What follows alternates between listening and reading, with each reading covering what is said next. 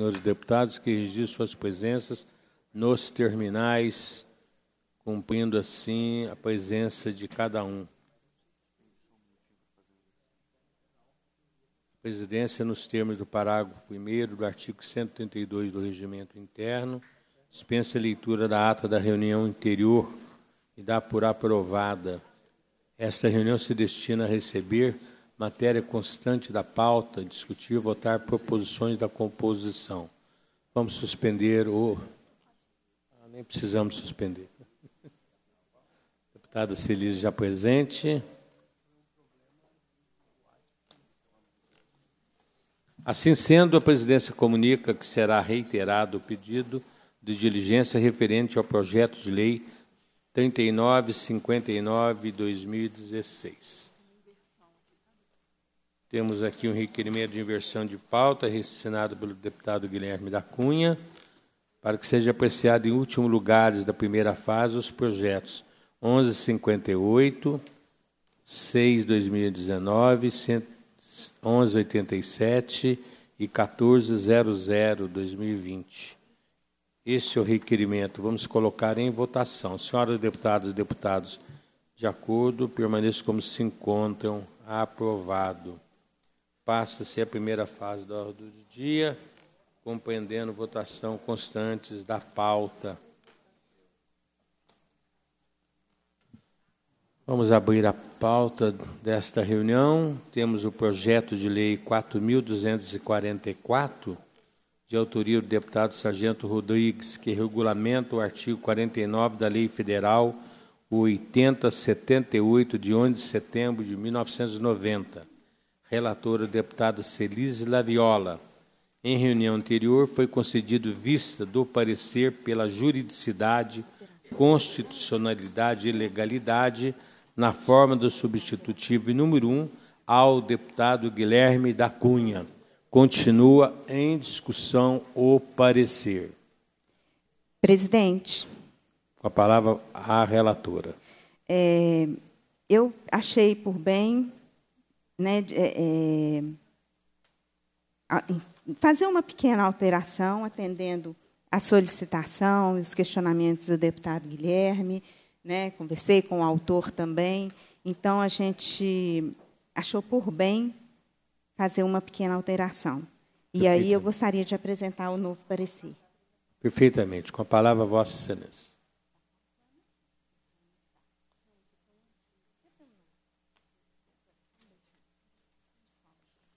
Suspendemos por dois minutos.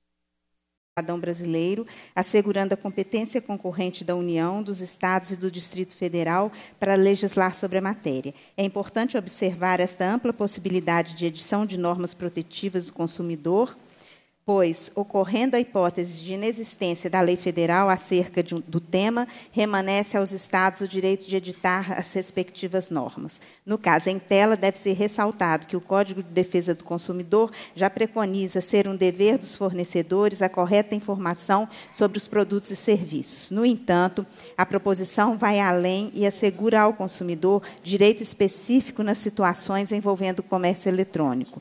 Nesse sentido, mesmo havendo previsão genérica no Código de Defesa do Consumidor sobre o dever de informação por parte dos fornecedores, ao tratar de situação específica, deve-se concluir que a proposição encontra-se em sintonia com a possibilidade de o Estado legislar sobre a matéria quando houver lacuna normativa no âmbito federal. Desse modo, necessário que sejam suprimidas da proposição todos os parágrafos e incisos do artigo 1 bem como o artigo 2 que fazemos por meio do substitutivo número 1, ora apresentado. Em face do exposto, concluímos pela juridicidade, constitucionalidade e legalidade do projeto de lei 4.244-2017, na forma do substitutivo número 1 que apresentamos. Substitutivo número 1. Regulamenta o artigo 49 da Lei 8.078-90, que dispõe sobre a proteção do consumidor e dá outras providências. A Assembleia Legislativa do Estado de Minas Gerais decreta, artigo 1 o fornecedor sediado no Estado de Minas Gerais, ao distribuir produtos e serviços por meio de comércio eletrônico, deve informar de forma clara e ostensiva os meios adequados e eficazes para o exercício do direito de arrependimento pelo consumidor. Artigo 2 o descumprimento do disposto nesta lei sujeito inflator às penalidades previstas na Lei Federal 8078 de 11 de setembro de 1990. Artigo 3 esta lei entra em vigor no prazo de 120 dias a contar da data de sua publicação. Esse é o nosso novo substitutivo, nosso novo parecer, presidente. Muito obrigado, Vossa Excelência. Vamos colocar em discussão o novo parecer e substitutivo. Senhor presidente. Com a palavra, Vossa Excelência, deputado Guilherme da Cunha. Senhor presidente, eu havia pedido vista na última reunião em que esse projeto foi apresentado e feito questionamentos em função da extensão territorial da norma, que a gente estaria na Assembleia de Minas Gerais legislando sobre empreendimentos comerciais eventualmente instalados e que praticassem suas atividades fora do nosso estado, quiçá fora do país, porque não havia limitação territorial absolutamente nenhuma. Isso me parecia é, um vício de inconstitucionalidade. Esse vício é absolutamente sanado, corrigido e aprimorado no parecer agora apresentado. Parabenizo a relatora pelo excelente trabalho. E, feitas essas considerações, manifesto minha total concordância com o parecer apresentado e com as conclusões neles posadas. Muito bem, continua em discussão. Encerra-se a discussão em votação ou parecer. Senhoras deputadas e deputados, de acordo com o parecer, permaneçam como se encontram. Aprovado o parecer. Passamos agora ao projeto 369, de autoria do deputado Fred Costa. Autoriza o Poder Executivo a doar ao município de Cajuri o imóvel que especifica. Relator deputado Zé Reis. Consulte se Vossa Excelência está habilitado a emitir o parecer. Em condições, senhor presidente. Com a palavra, Vossa Excelência. Parecer o primeiro turno o projeto de lei número 369 de 2015, de autoria do deputado Fred Costa, e desarquivado o requerimento do deputado Roberto Andrade. O projeto de lei íntegro tem por objetivo autorizar o Poder Executivo a doar ao município de Cajuri o imóvel que especifica. É. Trata do projeto de lei número 369 de 2015, que autoriza o Poder Executivo a doar ao município de Cajuruí o imóvel com área de 10 mil metros quadrados, situado no lugar denominado Paraguai, naquele município, registrado sob o número 13.391 do livro 3Z, no cartório de registro de imóvel da comarca de Viçosa, para o funcionamento de um centro comunitário de assistência social. As regras básicas que condicionam a alienação de bens da administração constam no artigo 18 da Constituição do Estado, que exige avaliação prévia, autorização legislativa e licitação para alienação de imóveis. O dispositivo excepciona a exigência de processo licitatório quando se trata de doação e permuta na forma da lei. Há que observar também o artigo 17 da Lei Federal 866 de 93, que institui normas para licitações e contratos da administração pública e da outras providências. Para bens imóveis, o inciso 1 desse dispositivo, que exige autorização legislativa, avaliação prévia na licitação da modalidade de concorrência, dispensada esta última no caso de doação, entre outros institutos previstos em lei. Ademais, essa norma determina a subordinação da transferência de um interesse público, e por isso que, nas operações autorizadas por esta Assembleia Legislativa, é sempre exigida a inclusão de cláusula definindo a destinação pública a ser dada ao bem e estabelecendo a reversão do imóvel do patrimônio ao Estado, se, fim do determinado prazo, não lhe tiver sido dada a finalidade assinalada. Instada e se manifestar a Prefeitura Municipal de Cajuri, por meio do ofício número 67 de 2019, esclareceu que o ente tem interesse em adquirir a propriedade do imóvel para que nele sejam construídas unidades habitacionais para fins de moradia social. Outro sim, vale mencionar que consta dos autos outra manifestação do referido órgão municipal, em que este informa que em parcela do imóvel que se pretende alienar funciona a Escola Municipal Dr. Juarez Souto Carmo. Em seu turno, a Secretaria de Estado do Governo enviou o memorando número 32 de 2019 da Secretaria de Estado de Fazenda, em que, o, em que este órgão reitera e manifesta exarada na nota técnica 15 de 2015, pronunciou-se favoravelmente à doação pretendida, tendo em vista a destinação pública que será atribuída ao bem e a inexistência do projeto do Estado para sua utilização. Nestes termos, não há óbice à tramitação da matéria. Porém, apresentamos ao final um parecer, deste parecer o substitutivo número 1, com o propósito de corrigir a descrição do imóvel, modificando o teor da cláusula de destinação, em atenção ao esclarecimento prestado pelo município de Cajuri, Cajuri e adequar a redação à propositura da técnica legislativa. Desta forma, concluímos pela juridicidade, constitucionalidade e legalidade o projeto de lei número 369 de 2015, na forma do substitutivo número 1, a seguir redigido. Substitutivo número 1 Autoriza o Poder Executivo a doar ao município de Cajuri o imóvel que especifica. Artigo 1. Fica o Poder Executivo autorizado a doar ao município de Cajuri o imóvel com área de 10 mil metros quadrados, situado no lugar denominado Paraguai, naquele município, registrado sobre o número 13.391 do livro 3E, Cartório de Registro de Imóveis da Comarca de Viçosa. Parágrafo único. O imóvel que se refere ao caput destina-se ao funcionamento da escola municipal e à construção de unidades habitacionais para fins de moradia social. Artigo 2 O imóvel que trata a lei reverterá ao patrimônio do Estado se, fim do prazo de cinco anos contados da lavratura da escritura pública de doação, não lhe tiver sido dado destinação prevista no parágrafo único do artigo 1 Esta lei entra em vigor na data de sua publicação. É o que temos, senhor presidente. Muito obrigado, Vossa Excelência. Vamos colocar em discussão o parecer. Encerra essa discussão em votação o parecer. Senhoras deputadas, senhores deputados, de acordo, permaneçam como se encontram. Aprovado. Chamamos o projeto de autoria do deputado Cabo Júlio, projeto de lei 783-2015, altera os incisos 1 e 2 do artigo 1 da Lei 5.874, de 11 de maio de 1972 Relatora, deputada Celise Laviola. Consulte se Vossas Excelências têm condições de emitir o parecer. Em condições, presidente. Muito obrigado. Com a palavra. A Lei 5.874, de 11 de maio de 1972, dispõe sobre o recolhimento de veículos a depósito, sua venda em leilão judicial e da outras providências. O projeto em exame objetiva alterar os referidos incisos 1 e 2 de modo a atualizar a referência ao Código de Trânsito Brasileiro, pois este revogou a antiga Lei 5.108 de 1966 e ainda ampliar para 30 dias consecutivos o tempo para caracterização do abandono do veículo em via pública. É preciso dizer que o Código de Trânsito brasileiro não traz nenhuma previsão normativa de remoção de veículos por abandono. De outra parte, a Constituição da República confere privativamente à União a competência de legislar sobre trânsito e transporte.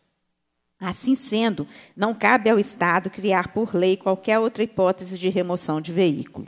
Desse modo, o inciso 2 da referida lei não tem como subsistir ante a nova ordem constitucional. Outra é a hipótese quando se tem um veículo insercível ou em estado de deteriorização, muitas vezes dando ensejo ao acúmulo de água parada em seu interior, o que pode levar à propagação de doenças e outros inconvenientes. Nesses casos, a competência legislativa para o trato da matéria se desloca para o município por se tratar de assunto de prevalente interesse local. Portanto, o, o, objetivo central da proposição, que consiste em alterar o inciso 2 da Lei 5.874, de 1972, de modo a definir a caracterização de abandono de veículo para fins de remoção, não tem como ser viabilizado por lei estadual. Ante o exposto, concluímos pela antijuridicidade, inconstitucionalidade e ilegalidade do projeto de lei número 783/2015. Esse é o nosso parecer. Muito obrigado, Vossa Excelência. Vamos colocar em discussão o parecer. Encerra essa discussão agora em votação. Senhoras deputadas e deputados, de acordo com o parecer, permaneçam como se encontram. Aprovado o parecer. Chamamos o projeto de autoria do deputado Dr. Jean Freire, projeto de lei 4031/2017, autoriza o Poder Executivo a doar ao município de Tamarandiba o imóvel que especifica relator deputado Zé Reis. Consulte se Vossa Excelência tem condições de emitir o parecer. Em condições, senhor presidente. Com a palavra, Vossa Excelência. De autoria do deputado Jean Freire, o projeto de lei que autoriza o Poder Executivo a doar ao município de Itamarandíba o imóvel que especifica. Projeto de Lei número 4031 de 2017. A proposição estabelece que o imóvel destina-se à implantação de unidades de controle populacional de cães e gatos. Determina ainda que o bem reverterá ao patrimônio do Estado se, fim do prazo de cinco anos, contados a lavratura da escritura pública de doação, não tiver sido destinação assinalada. Para a transferência do domínio público a Constituição Mineira exige avaliação prévia, autorização legislativa e licitação, excepcionando-se a última exigência quando se tratar de doação e permuta na forma da lei. Além disso, a Lei Federal 8.666 de 93 também exige a autorização legislativa, avaliação prévia, licitação da modalidade concorrência. Da mesmo modo, o processo licitatório é dispensado no caso de doação. A norma determina ainda a subordinação da transferência de interesse público, que pode ser observado no objetivo proposto pelo município donatário, de utilizar o referido imóvel para a instalação de unidade de controle populacional de cães e gatos, com o fim de preservar a saúde pública e garantir o bem-estar dos animais. Ademais, o artigo 2 do projeto determina a reversão do bem em patrimônio do Estado, se não lhe for dada a destinação prevista no prazo assinalado. Em sua manifestação, o prefeito Itamarandiba informou por ofício número 344 de 2017 que possui interesse na transferência da titularidade do imóvel em questão, uma vez que o espaço se encontra abandonado e a doação permitirá se abrigue o Centro de Controle de Zoonoses Fernão Dias Paz. A Prefeitura ratificou em atendimento posterior, conforme se depreende a leitura do ofício número 244 de 2019, quando é reiteração da diligência.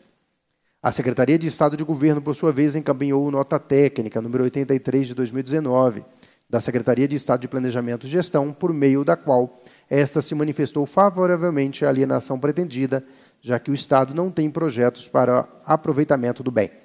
Assim, não há óbice a tramitação da proposição em análise.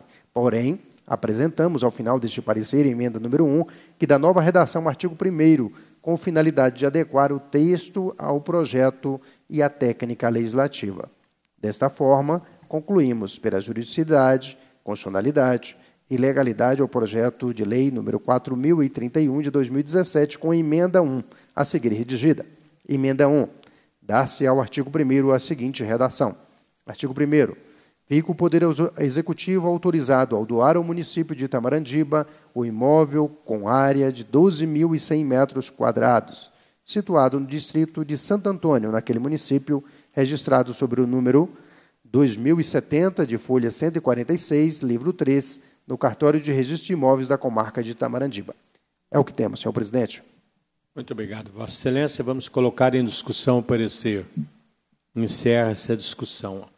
Em votação o parecer. Senhoras deputadas e deputados, de acordo com o parecer, permaneçam como se encontram. Aprovado.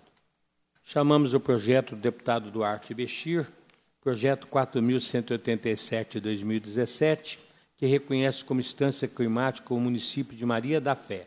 Sou relator da matéria, estou, data vênia, baixando em diligência para, nos termos do artigo 301 do Regimento Interno, seja a proposição encaminhada ao autor para que apresente os estudos técnicos necessários ao reconhecimento do referido município como instância climática, conforme disposto nos, para, nos artigos 2, 3 e 4 da Lei 17.110, de 1 de novembro de 2007. Este é o nosso parecer. Vamos colocar em votação. Esse é o requerimento. Vamos colocar em votação o requerimento. Senhoras deputadas e deputados, de acordo com o requerimento, permaneçam como se encontram. Aprovado. Chamamos o projeto 5.243 do deputado Tiago Cota, que altera a Lei 21.777, de 29 de setembro de 2015. Relatora, deputada Ana Paula Siqueira. Consulto se Vossa Excelência está habilitada a emitir o parecer. Sim, presidente. Com a palavra, Vossa Excelência. A proposição em análise pretende acrescentar dispositivo na Lei 21.777, de 29 de setembro de 2015, que institui o Programa Estadual de Transporte Escolar, direcionado a alunos da rede estadual de ensino residentes em zona rural. O autor do projeto, em sua justificação, argumenta que o Estado de Minas Gerais tem passado por sérios problemas de ordem financeira com isso, os atrasos dos repasses referentes ao Programa Estadual de Transporte Escolar aos municípios têm sido recorrentes.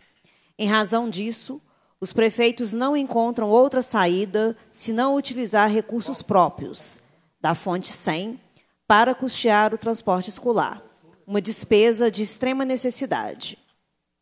Na prática, a situação é ainda mais grave, posto que os prefeitos, durante o exercício financeiro em curso, utilizam recursos próprios visando evitar a suspensão do serviço de transporte escolar e, no final do exercício, quando recebem as parcelas atrasadas, ficam com um saldo alto, o qual somente poderá ser utilizado em despesas do transporte escolar. Diante disso, o projeto propõe a inclusão, na lei estadual citada, de dispositivo que permita aos prefeitos, no caso de um município é, que tenha utilizado recursos próprios para assegurar a manutenção do transporte escolar, em razão de atrasos nas transferências do PTE, utilizarem os saldos remanescentes em outras despesas previstas na lei orçamentária do município. Passamos, então, à análise da proposição. De acordo com o artigo 208 da Constituição Federal, a oferta de programa suplementar de transporte integra os deveres do Estado para com a educação. Para cumprir essa determinação, o governo federal executa o Programa Nacional de Apoio ao Transporte Escolar, cujo objetivo é oferecer transporte escolar aos alunos da educação básica pública, residentes em área rural, por meio de assistência financeira em caráter suplementar aos estados, ao Distrito Federal e aos municípios. O artigo 4 é, oitavo da Lei 9.394 de 1996, que institui as diretrizes e bases da educação nacional, a LDB, dispõe da mesma forma. Além disso, o inciso 7 do artigo 10 da LDB estabelece que os estados incumbiciam de assumir o transporte escolar dos alunos da rede estadual.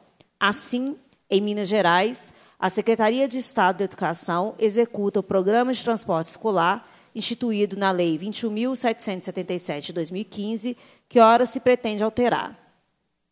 Na sistemática do programa, o Estado garante a transferência de recursos para os municípios que se comprometam a ofertar o transporte escolar aos alunos da rede estadual, mediante termo de adesão, com renovação automática. O mecanismo possibilita aos municípios oferecerem de forma conjunta o transporte aos alunos das redes municipal e estadual, otimizando os recursos humanos e materiais. Desta forma, o papel do Estado deve ser reconhecido como de suma importância para o êxito da oferta do transporte escolar, pois, mesmo que não realize diretamente o transporte dos alunos da rede estadual, é responsável legal por manter essa oferta em funcionamento, por meio da transferência dos recursos aos municípios. De acordo com o artigo 3 da Lei 21.777 de 2015, os recursos do programa destinam-se exclusivamente ao custeio do transporte escolar, executado direta ou indiretamente pelo município, e o seu valor para cada exercício financeiro será transferido de 10 parcelas iguais e sucessivas. Sobre os saldos remanescentes ao término do exercício, prevê que os inferiores a 15% do total do repasse no exercício seguinte serão utilizados para o atendimento do objetivo do programa ou serão restituídos em caso de não renovação do termo de adesão. De adesão. E superiores a 15% do total do repasse serão deduzidos no repasse do exercício seguinte. Assim, o dispositivo que o projeto pretende inserir visa possibilitar que os saldos remanescentes citados sejam utilizados no mesmo exercício da transferência ou no exercício subsequente, em despesas diversas previstas, previstas na Lei Orçamentária Municipal, caso haja atraso na transferência estado, pelo Estado, até o montante dos recursos próprios utilizados pelo município no transporte escolar.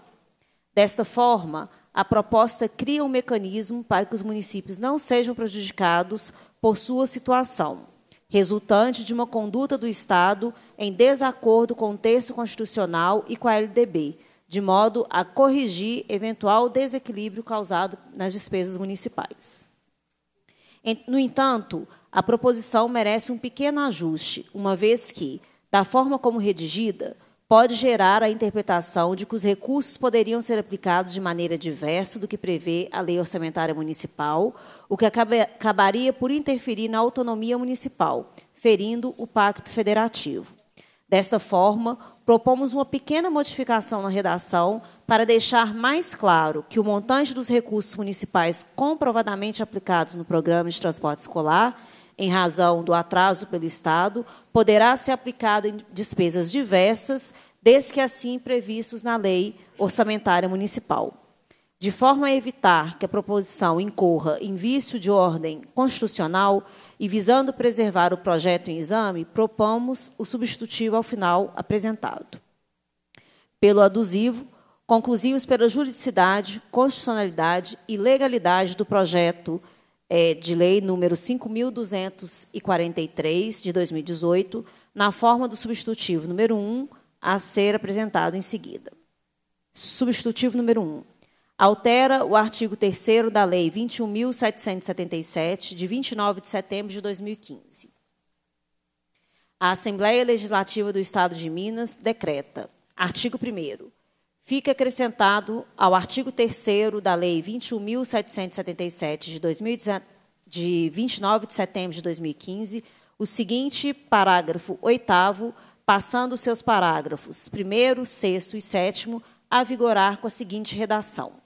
Parágrafo 1 Os recursos do Programa de Transporte Escolar em Minas Gerais destinam-se exclusivamente ao custeio do transporte escolar executado direta ou indiretamente pelo município, observando o disposto no parágrafo 8 Parágrafo 6 Os saldos remanescentes ao término do exercício financeiro inferiores a 15% do total do repasse no exercício seguinte serão utilizados para o atendimento do objetivo do programa de transporte escolar ou serão restituídos em caso de não renovação do termo de adesão, observando o disposto no parágrafo 8 Parágrafo 7 Os saldos remanescentes ao término do exercício financeiro, superiores a 15% do total do repasse, serão deduzidos do repasse do exercício seguinte, observando o disposto no parágrafo 8 Parágrafo 8 na hipótese de um município necessitar utilizar recursos próprios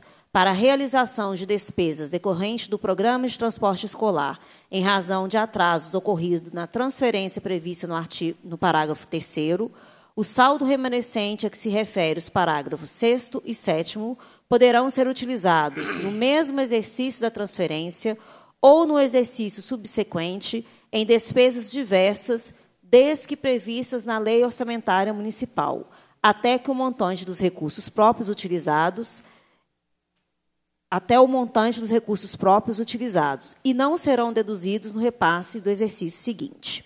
Artigo 2 essa lei entra em vigor na data de sua publicação. Esse é o nosso parecer, presidente. Muito obrigado, Vossa Excelência. Vamos colocar em discussão o parecer. Senhor presidente. Com a palavra, o deputado Guilherme. para presidente, discutir. A análise inicial que eu fiz do projeto de lei número 5.243 de 2018 era pela inconstitucionalidade por violação ao disposto no artigo 25, parágrafo 2 da Lei de Responsabilidade Fiscal, Lei Complementar Federal número 101, é, que dispõe que é vedada a utilização de recursos transferidos em finalidade diversa da pactuada. Mas reconheço o esforço feito pela relatora para buscar uma solução que conferisse juridicidade a esse projeto e peço vista para poder estudar a nova redação proposta pela autora e ver se alcanço a mesma conclusão que ela, de que, com essas alterações, o projeto se torna constitucional, se torna jurídico, se torna legal. Portanto, eu peço vista, senhor presidente. É regimental. Vista concedida a Vossa Excelência. O próximo projeto 5.319 é de autoria deste parlamentar. Assim sendo, transferimos os trabalhos para a condução desse projeto e o vice-presidente, o deputado Zé Reis. Por favor. Projeto de lei número 5.319 de 2018, que concede novo prazo ao donatário do imóvel em que se trata a Lei 20.791, de 23 de julho de 2013, que autoriza o Poder Executivo a doar ao, ao município de Cachoeira de Minas o imóvel que especifica. De autoria do deputado Dalmo Ribeiro Silva, presidente dessa comissão, onde o relator é o dedicado deputado Charles Santos. Consulto ao senhor relator se está em condições de emitir o parecer. Em condição, senhor presidente. Com a palavra o relator deputado Charles Santos. De autoria do deputado Dalmo Ribeiro Silva, o projeto de lei em epígrafe concede novo prazo ao donatário do imóvel de que trata a Lei 20791, de 23 de julho de 2013, autoriza o poder, o poder Executivo a doar ao município de Cachoeira de Minas o imóvel que especifica, com área de 1.500 metros quadrados, situado naquele município, registrado sob o número 2638, a folha 170 do livro 3B no cartório de registro de imóveis da comarca de Paraisópolis, com vistas à instalação da Secretaria Municipal de Educação, da Secretaria Municipal de Turismo, Cultura, Esporte e Lazer, de Museu Municipal e de espaços para apresentações culturais, oficinas de artes cênicas, centro de artesanato e laboratório de informática. Essa norma determinava também que o imóvel reverteria ao patrimônio do Estado se, findo o prazo de cinco anos contados da, da lavratura da escritura pública de doações, não lhe tivesse sido dada a destinação prevista. Pretende o projeto de lei 5319 de 2018 seja concedido ao donatário do imóvel em questão prazo de cinco anos contados da data de publicação da nova lei para o cumprimento da destinação assinalada, sob pena de reversão ao patrimônio do Estado. Em sua justificação, o autor da matéria esclarece que, para a concretização da finalidade fixada pela lei autorizativa, faz-se necessária a prorrogação do prazo de cinco anos inicialmente concedido Instada a se manifestar, a Secretaria de Estado de Governo enviou a nota técnica 23/2019 da Secretaria de Estado de Planejamento e Gestão, em que esta se posiciona favoravelmente ao pleito, pontuando que, além de o Estado não possuir planos para a utilização do imóvel, a prorrogação do prazo inicialmente assinalado propiciará ganhos à comunidade local viabilizando o cumprimento da finalidade prevista no contrato de doação. Com efeito, mantida a destinação originária, que, segundo o juízo lançado por esta Assembleia Legislativa, quando da autorização da alienação, revela-se não só juridicamente admissível, mas também conveniente e oportuna, mostra-se plenamente possível que o projeto estabelece novo prazo de reversão do imóvel em atenção às dificuldades e exigências concretamente verificadas. Assim, não há óbices à tramitação da matéria. Contudo, apresentamos o substitutivo número 1, redigido ao final deste parecer, para incluir a revogação do artigo 2 da Lei 20791 de 2013 e adequar o texto da proposição à técnica legislativa. Em face do exposto, concluímos pela juridicidade, constitucionalidade e legalidade do projeto de lei 5319 de 2018, na forma do substitutivo número 1, redigido a seguir. Substitutivo número 1. Concede novo prazo ao donatário do imóvel que trata a Lei 2791, de 23 de julho de 2013, que autoriza o Poder Executivo a doar ao município de Cachoeira de Minas o imóvel que especifica.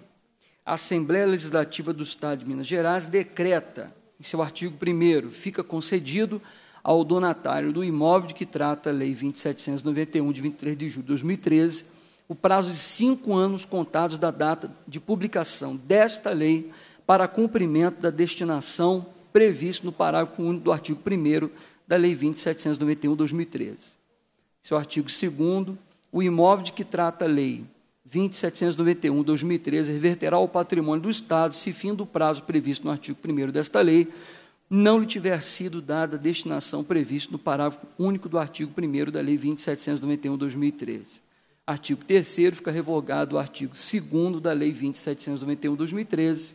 Em seu artigo 4 esta lei entra em vigor na data de sua publicação. Este é o parecer, senhor presidente. Muito bem, deputado, deputado Charles. Coloco em discussão o parecer ora apresentado.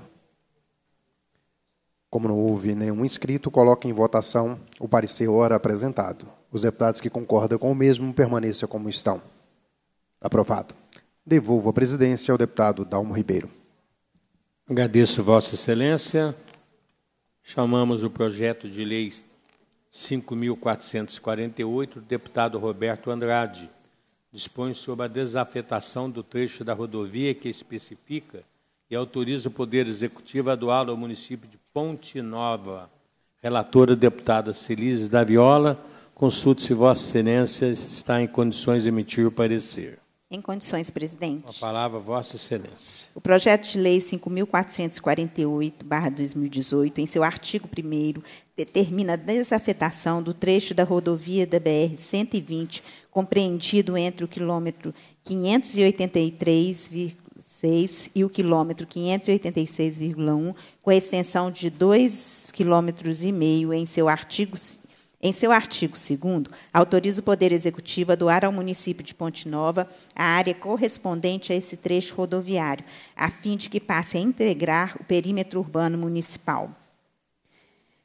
Prefeito de Ponte Nova informou que o referido trecho de rodovia, em cujas margens se localizam um distrito industrial e um comercial, está compreendido em área urbana, o que justifica a sua transferência para o domínio do município. Do mesmo modo, a Secretaria de Estado de Governo enviou a esta Assembleia a nota técnica de 25 de setembro de 2019 do Departamento de Edificações e Estradas de Rodagem de Minas Gerais, em que este órgão se manifestou favoravelmente à pretensão do projeto em estudo, uma vez que o segmento apresenta características urbanas. Indicou, todavia, a necessidade de corrigir a descrição do trecho a ser desafetado e doado uma vez que houve mudanças nos marcos quilométricos da BR-120. Assim, embora não haja óbvia tramitação da matéria, apresentamos ao final deste parecer o substitutivo número 1, com vistas a corrigir a descrição do trecho a ser desafetado e adequar o texto da proposição à técnica legislativa. Concluímos pela juridicidade, constitucionalidade e legalidade do projeto de lei 5.448-2018, na forma do substitutivo número 1, a seguir redigido. Substitutivo número 1 dispõe sobre a desafetação dispõe sobre a desafetação do trecho de rodovia que especifique e autoriza o Poder Executivo a doá-lo ao município de Ponte Nova. A Assembleia Legislativa do Estado de Minas Gerais decreta, artigo 1 fica desafetado o trecho da BR-120 compreendido entre o quilômetro 574 e o quilômetro 576,5, com extensão de 2,5 quilômetros. Artigo 2 Fica o Poder Executivo autorizado a doar ao município de Ponte Nova a área correspondente ao trecho da rodovia de rodovia, de que trata o artigo 1. Parágrafo único. A área que se refere o caput integra o perímetro urbano do município e destina-se à instalação de via urbana. Artigo 3 A área objeto da doação de que trata esta lei reverterá ao patrimônio do Estado se, fim do prazo de cinco anos contados da publicação desta lei, não lhe tiver sido dada a destinação prevista no parágrafo único do artigo 2 Artigo 4 esta lei entra em vigor na data de sua publicação. Esse é o nosso parecer, presidente. Agradeço, Vossa Excelência. Vamos colocar em discussão o parecer. Encerra essa discussão. Agora, em votação. Senhora deputada, deputados, de acordo com o parecer, permaneçam como se encontram. Aprovado. Vamos chamar o projeto 5.473-2018, de autoria do deputado Alencar da Silveira Júnior, que dispõe sobre a gratuidade do uso dos estacionamentos de shoppings para as pessoas idosas acima de 60 anos no âmbito do Estado e da outras providências. Relator, deputado Guilherme da Cunha. Consulte se Vossa Excelência está habilitado a emitir o parecer. Estou, senhor presidente. Com a palavra, Vossa Excelência. Parecer para o primeiro turno do projeto de lei número 5.473 de 2018 de autoria do deputado Lencar da Silveira Júnior, a proposição em epígrafe dispõe sobre a gratuidade do uso dos estacionamentos dos shoppings para as pessoas idosas acima de 60 anos no estado de Minas Gerais e da outras providências. A proposição em tela pretende assegurar às pessoas com mais de 60 anos de idade, condutoras de veículos automotivos, a gratuidade nos estacionamentos dos shopping centers no estado de Minas Gerais. A Constituição da República dispensou atenção especial ao idoso, estabelecendo em seu artigo 230 que a família, a sociedade e o Estado têm o dever de amparar as pessoas idosas, assegurando sua participação na comunidade, defendendo sua dignidade e bem-estar e garantindo-lhes o direito à vida. E o parágrafo 2 assegura expressamente aos maiores de 65 anos gratuidade no transporte coletivo urbano. Verifica-se, portanto, não haver no, contexto, é, no texto da Constituição da República menção expressa estacionamento para os idosos. Já no plano infraconstitucional, com propósito de conferir densidade normativa ao caput do citado artigo 230, foi editada a Lei Federal nº 10.741 de 2003, que no seu artigo, no seu artigo 41 assegura aos idosos a reserva de 5% do total das vagas nos estacionamentos públicos e privados, acrescentando que essas deverão ser posicionadas de tal forma que garanta comodidade ao idoso. Quanto à proposição em análise, Observa-se que o objetivo do parlamentar vai muito além do que garantir a justa e necessária comodidade aos idosos em estacionamentos situados em estabelecimentos privados, mas pretende garantir que não lhe seja cobrado nenhum valor, o que caracteriza indevida afronta à livre iniciativa, além de transferência, aliás, além de interferência desmesurada em relação jurídica sobre a qual não cabe interferência do legislador estadual. A propósito, vale dizer que a relação jurídica que se estabelece entre o usuário e o estacionamento, situado em estabelecimento privado, é uma relação contratual regida por normas existentes no Código Civil, cabendo a cada parte direitos e obrigações que decorrem naturalmente desse conjunto normativo, entre elas, a título de exemplo, o dever do usuário de pagar pelo serviço recebido e o estabelecimento o de garantir a segurança do veículo. Cabe mencionar que o Supremo Tribunal Federal possui um entendimento consolidado no sentido de caracterizar invasão à competência privativa da União, lei estadual que interfira no uso de propriedade privada. A esse respeito, mencionamos a ação direta de inconstitucionalidade número 1918, julgada pelo Tribunal Pleno em 23 de agosto de 2001, cuja emenda é a seguinte: ação direta de inconstitucionalidade, artigo 2 caput, e parágrafos 1 e 2 da Lei nº 4.711 de 92 do Estado do Espírito Santo estabelecimento de veículos, em, aliás, estacionamento de veículos em áreas particulares, lei estadual que limita o valor das quantias cobradas pelo seu uso, direito civil invasão de competência privativa da União. É hipótese de inconstitucionalidade formal por invasão de competência privativa da União para legislar sobre direito civil Enquanto a União regula o direito de propriedade e estabelece as regras substantivas de intervenção no domínio econômico, os outros níveis de governo apenas exercem o policiamento administrativo do uso da propriedade e da atividade econômica dos particulares, tendo em vista sempre as normas substantivas editadas pela União. A ação direta de inconstitucionalidade julgada procedente. Por fim, cabe destacar que a Lei Federal número 13.874, de 2019, que instituiu a Declaração de Direitos à Liberdade Econômica, estabelece em seu artigo 4 inciso 5, que é dever da administração pública e das demais entidades que se vinculam a essa lei, no exercício de regulamentação de norma pública pertinente à legislação sobre a qual essa lei versa, exceto se em estrito cumprimento a previsão explícita em lei, evitar o abuso do poder regulatório de maneira a indevidamente, inciso 5, aumentar os custos de transação sem demonstração de benefícios.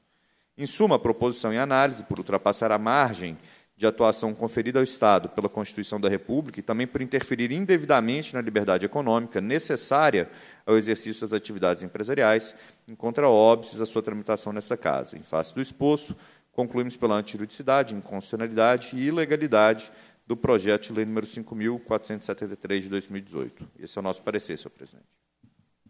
Muito obrigado, Vossa Excelência. Vamos colocar em discussão o parecer.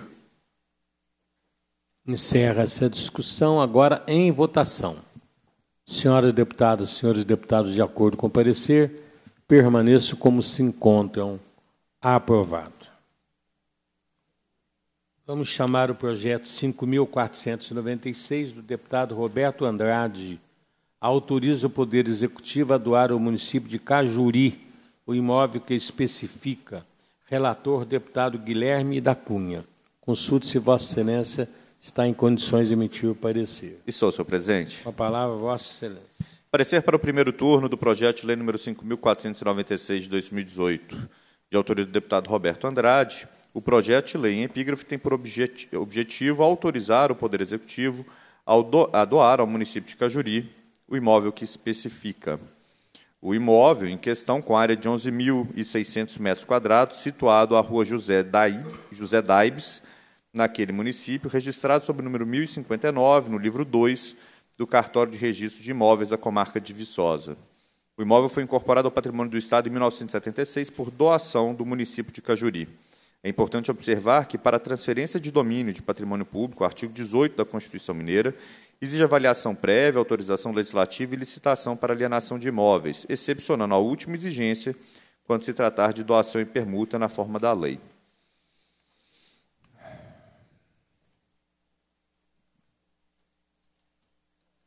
Ademais, a Lei Federal nº 8666, de 93, que institui normas para licitações e contratos da administração pública e dá outras providências, também exige, no inciso 1 do seu artigo 17, a autorização legislativa, avaliação prévia e licitação na modalidade de concorrência. Do mesmo modo, o processo licitatório é dispensado no caso de doação.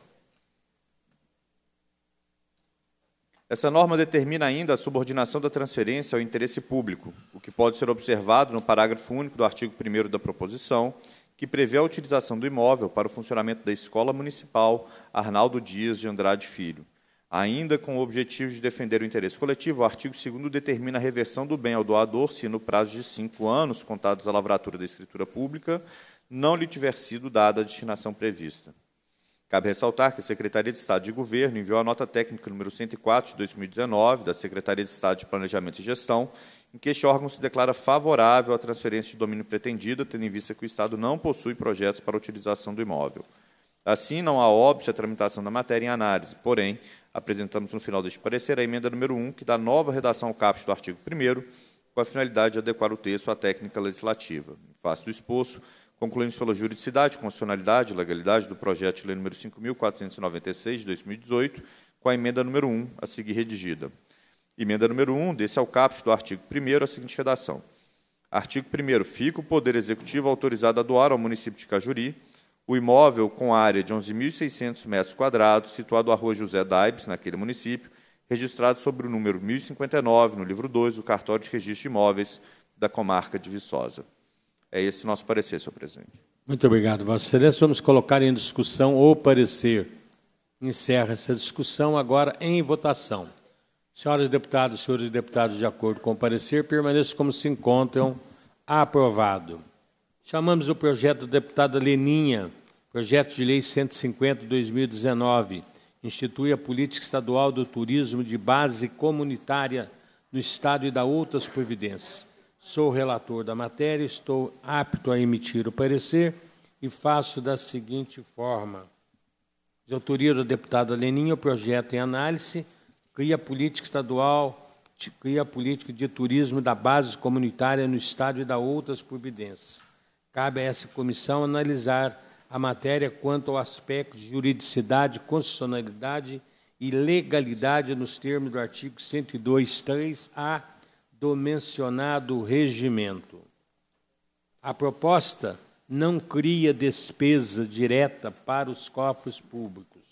As diretrizes traçadas reforçam e dão mais direcionamento às ações que os órgãos afetos à matéria de, da seara do Poder Executivo já poderiam desempenhar, com base nos recursos de seu orçamento, e segundo o encaminhamento a ser dado pelo chefe desse poder, razão por que não se decreta, detecta vício de iniciativa do artigo 66 da Constituição do Estado.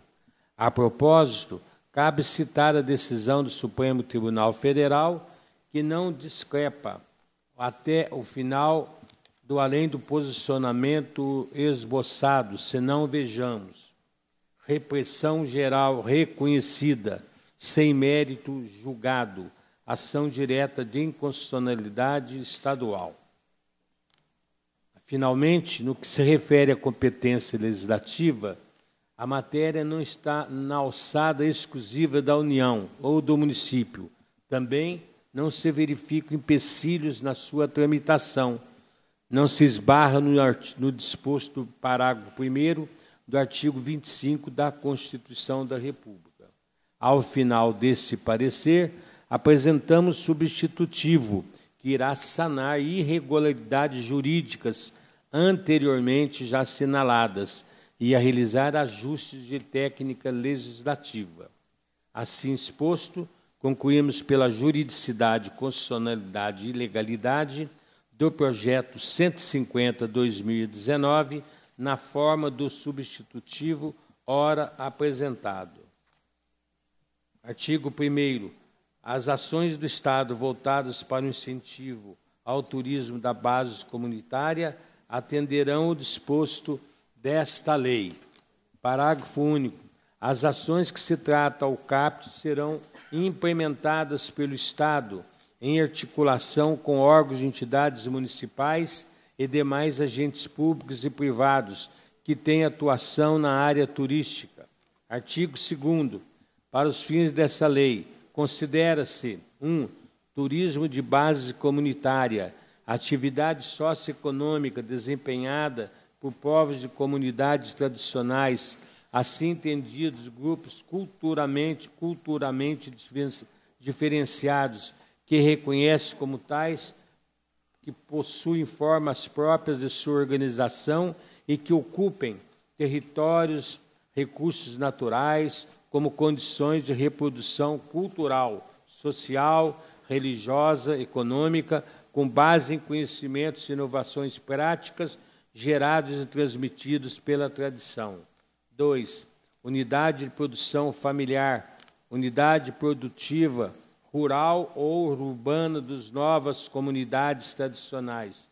Terceiro, unidade de planejamento de turismo de base comunitária, o conjunto de unidades produtivas rurais localizadas na área geográfica valores sociais, culturais, atrativos, turísticos, originários a partir de valores artísticos. Artigo 3 São diretrizes dessa lei incentivar a realização de atividade de turismo base comunitária. 2. Estimular o fortalecimento da autonomia. 3. Trazer orientação para o uso de, no, de, de recursos naturais. 4. Promover respeito a sociocultural. Quinto, promover ações para que haja compreensão, tolerância intelectuais. Sexto, incentivar a realização das atividades econômicas. Sétimo, orientação e adoção de práticas de turismo sustentável. Artigo 4 são princípios de turismo dos bases comunitária, desenvolvimento sustentável, diversificação e valorização de produção regional, comercialização direta de produtores regionais, valorização da autoestima dos povos de comunidade.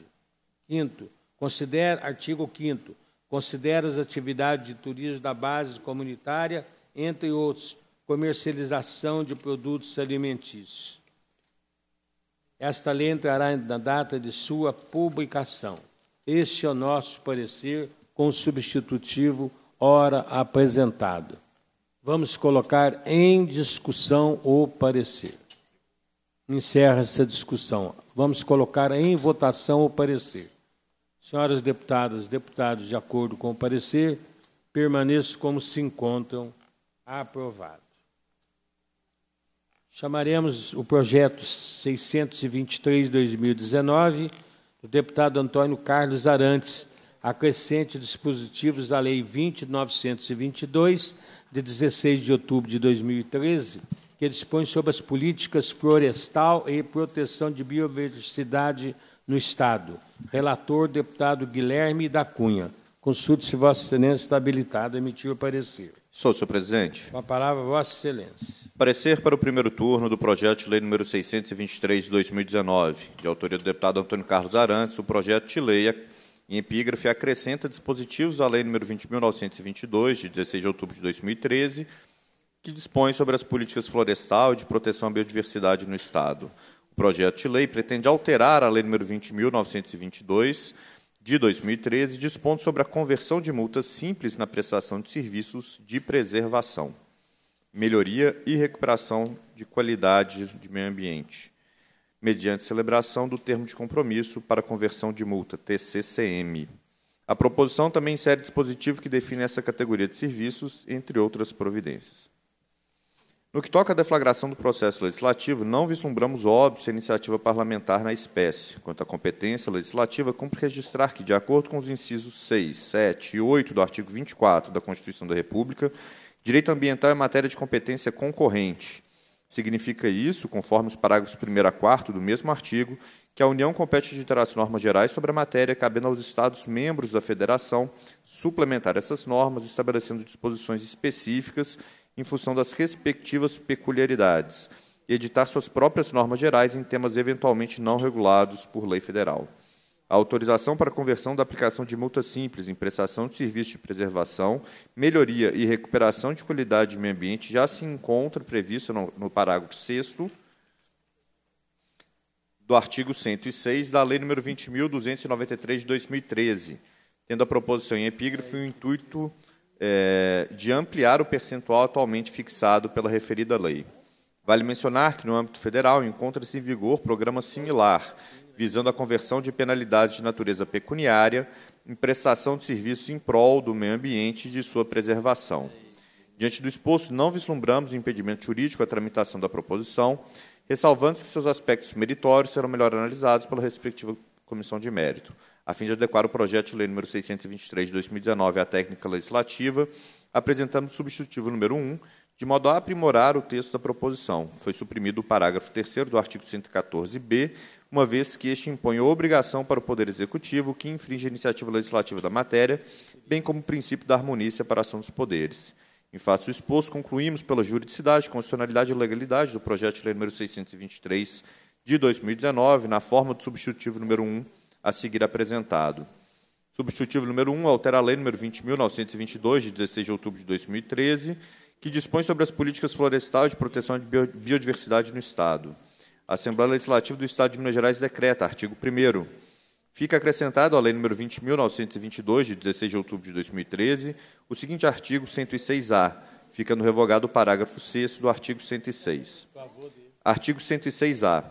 A multa simples a que se refere o inciso 2 do caput do artigo 106 poderá, a requerimento do interessado, ser convertida em serviço de preservação, melhoria e recuperação da qualidade do meio ambiente a serem realizados no território do Estado por meio da celebração com o órgão ambiental competente de termo de compromisso que deverá ser apresentado quando da interposição de defesa administrativa sem prejuízo da reparação de dano ambiental diretamente causado pelo empreendimento.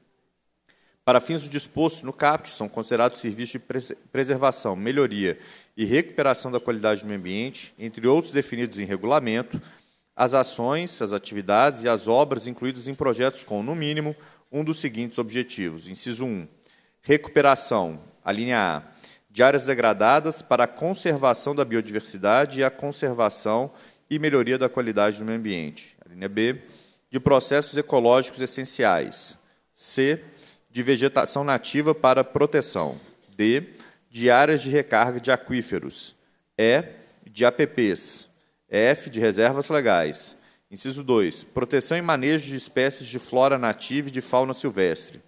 Parágrafo 2 Na hipótese de os serviços a serem executados demandarem recuperação da vegetação nativa em imóvel rural, as áreas beneficiadas com a prestação do serviço objeto da conversão deverão estar inscritas no CAR. Parágrafo 3 o disposto no parágrafo 2 não se aplica aos assentamentos de reforma agrária, aos territórios indígenas e quilombolas e às unidades de conservação, ressalvadas as APAs.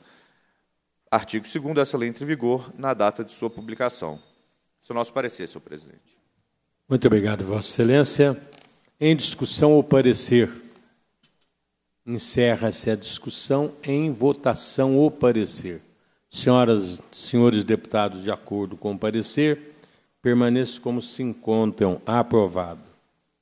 Senhor presidente. Com a palavra, Vossa Excelência. Só fazer uma breve declaração. Bem, o parecer era técnico, não cabia entrar no mérito, mas agora, passada a votação, elogiar o autor da proposição, o deputado Antônio Carlos Arantes, das proposições mais interessantes no aspecto ambiental, que tive a oportunidade de ver aqui na comissão.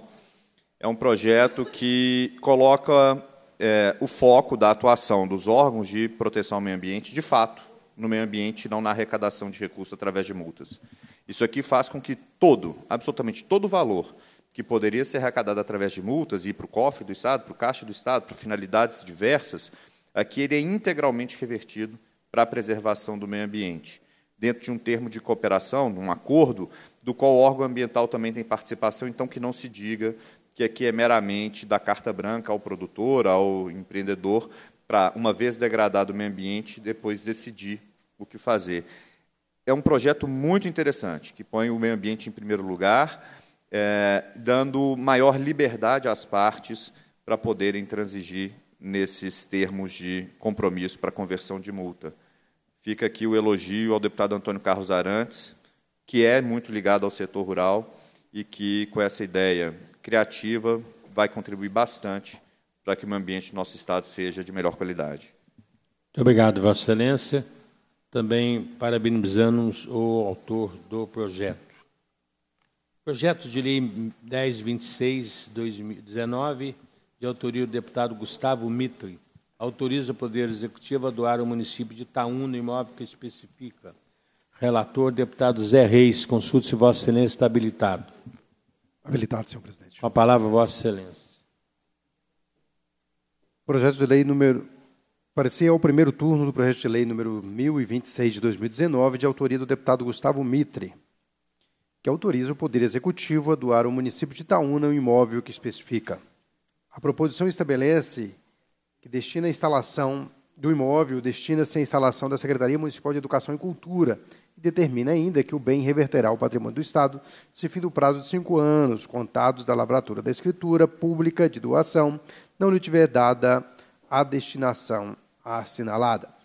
Nesse meio, nesse sentido, a Constituição Mineira, também a Lei Federal 8663 de 93, também exige a autorização legislativa, avaliação prévia, licitação da modalidade de concorrência, do mesmo modo o processo licitatório é dispensado no caso de doação. Da mesma forma, o município de Itaúna manifesta informando que pretende realizar adequações do imóvel onde já funciona a Secretaria Municipal de Educação e Cultura, a fim de melhor atender a comunidade. De outro lado, a Secretaria de Estado de Governo, por sua vez, encaminhou nota técnica número 69, 69 de 2019 da Secretaria de Estado de Planejamento e Gestão, por meio do qual este órgão manifestou favoravelmente a alienação pretendida, uma vez que o Estado de Minas Gerais não tem projetos de utilização da área e a destinação proposta viabilizará políticas educacionais essenciais à população. Portanto, embora não haja óbices à tramitação da matéria em análise, apresentamos ao final deste parecer o substitutivo número 1 um, com o objetivo de corrigir a descrição do imóvel. Diante do exposto, concluímos pela juridicidade, constitucionalidade e legalidade ao projeto de lei número 1026 de 2019, na forma de substitutivo número 1 a seguir apresentado. Substitutivo número 1. Autoriza o Poder Executivo a doar ao município de Itaúna o imóvel que especifica. Artigo 1 Fica o Poder Executivo autorizado, autorizado a doar ao município de Itaúna o imóvel com área de 2.242 metros quadrados, situados naquele município, registrado sobre o número 61.804 de folha 4, livro 2KN, no cartório de registro de imóveis da comarca de Itaúna. Parágrafo único. O imóvel que se refere ao caput destina-se ao funcionamento da Secretaria Municipal de Educação e Cultura. Artigo 2 O imóvel que trata esta lei reverterá ao patrimônio do Estado se, findo o prazo de cinco anos contado da lavratura da escritura de doação, não lhe tiver sido dada a destinação prevista do parágrafo único do artigo 1 Artigo 3 Esta lei entra em vigor na data da sua publicação. É o que temos, senhor presidente. Muito obrigado, Vossa Excelência. Vamos colocar em discussão o parecer. Encerra essa discussão agora em votação. Senhoras deputadas e deputados, de acordo, permaneço como se encontram. Aprovado. Chamaremos o projeto 1113 de autoria do deputado Douglas Melo dispõe sobre a criação de programa estadual de prevenção de suicídio, sendo o relator deputado Charles Santos. Consulte se Vossa Excelência está habilitado a emitir o parecer. Sim, senhor presidente. A palavra Vossa Excelência.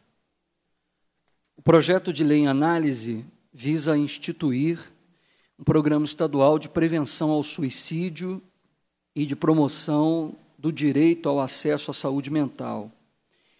A prevenção é nesse contexto, um dos escopos dessa assistência, e por isso o conteúdo desta proposição cuida de tema afeto diretamente à proteção da saúde.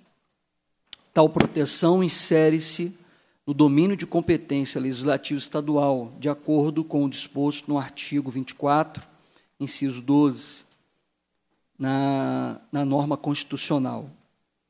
Segundo o qual compete à União, aos Estados e ao Distrito Federal legislar concorrentemente sobre previdência social, proteção e defesa da saúde, sendo comum entre as três esferas de governo a competência material sobre assuntos de saúde.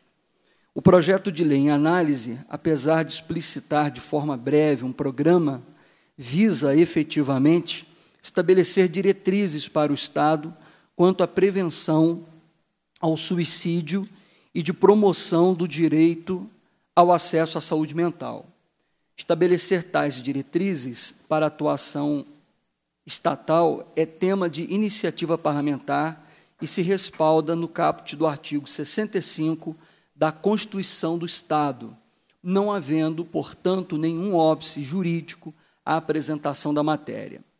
Diante do exposto, julgamos oportuna a apresentação, ao final deste parecer, do substitutivo número 1, que, além de promover alguns reparos para o aprimoramento do texto, retira dispositivo que vincula a receita à consecução das diretrizes da política de que trata o projeto, refiro-me ao artigo 6. Por todo o exposto, concluímos pela juridicidade constitucionalidade e legalidade do projeto de lei 1113 de 2019, na forma do substitutivo número 1 a ser apresentado. Substitutivo número 1 estabelece princípios e diretrizes para as ações do Estado voltados para a prevenção ao suicídio e promoção da saúde mental. A Assembleia Legislativa do Estado de Minas Gerais decreta, artigo 1 as ações do Estado voltadas para a prevenção ao suicídio e promoção da saúde mental atenderão ao, ao, ao disposto nesta lei. Artigo 2 A implementação das ações a que se refere o artigo 1 observará os seguintes princípios e diretrizes.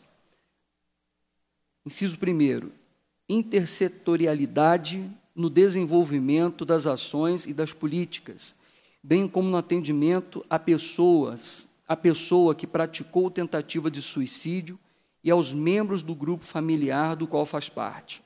Inciso 2.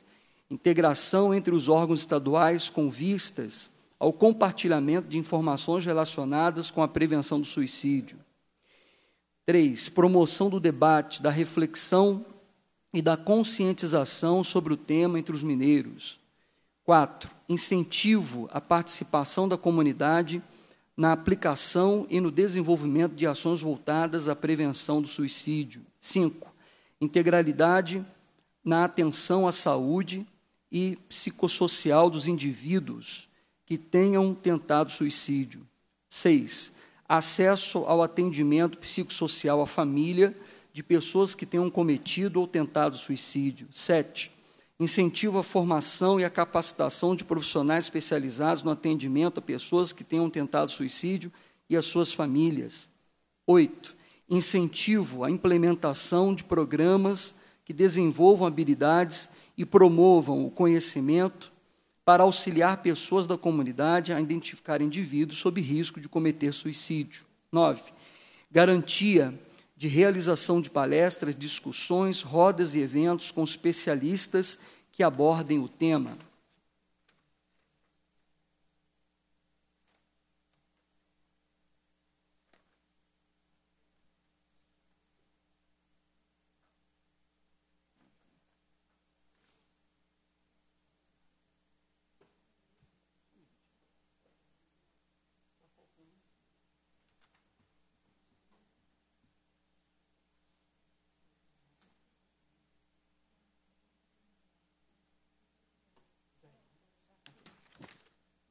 10. Acesso à informação por meio de folhetos e cartazes e serviços para atendimento psicológico e psiquiátrico na rede pública de saúde.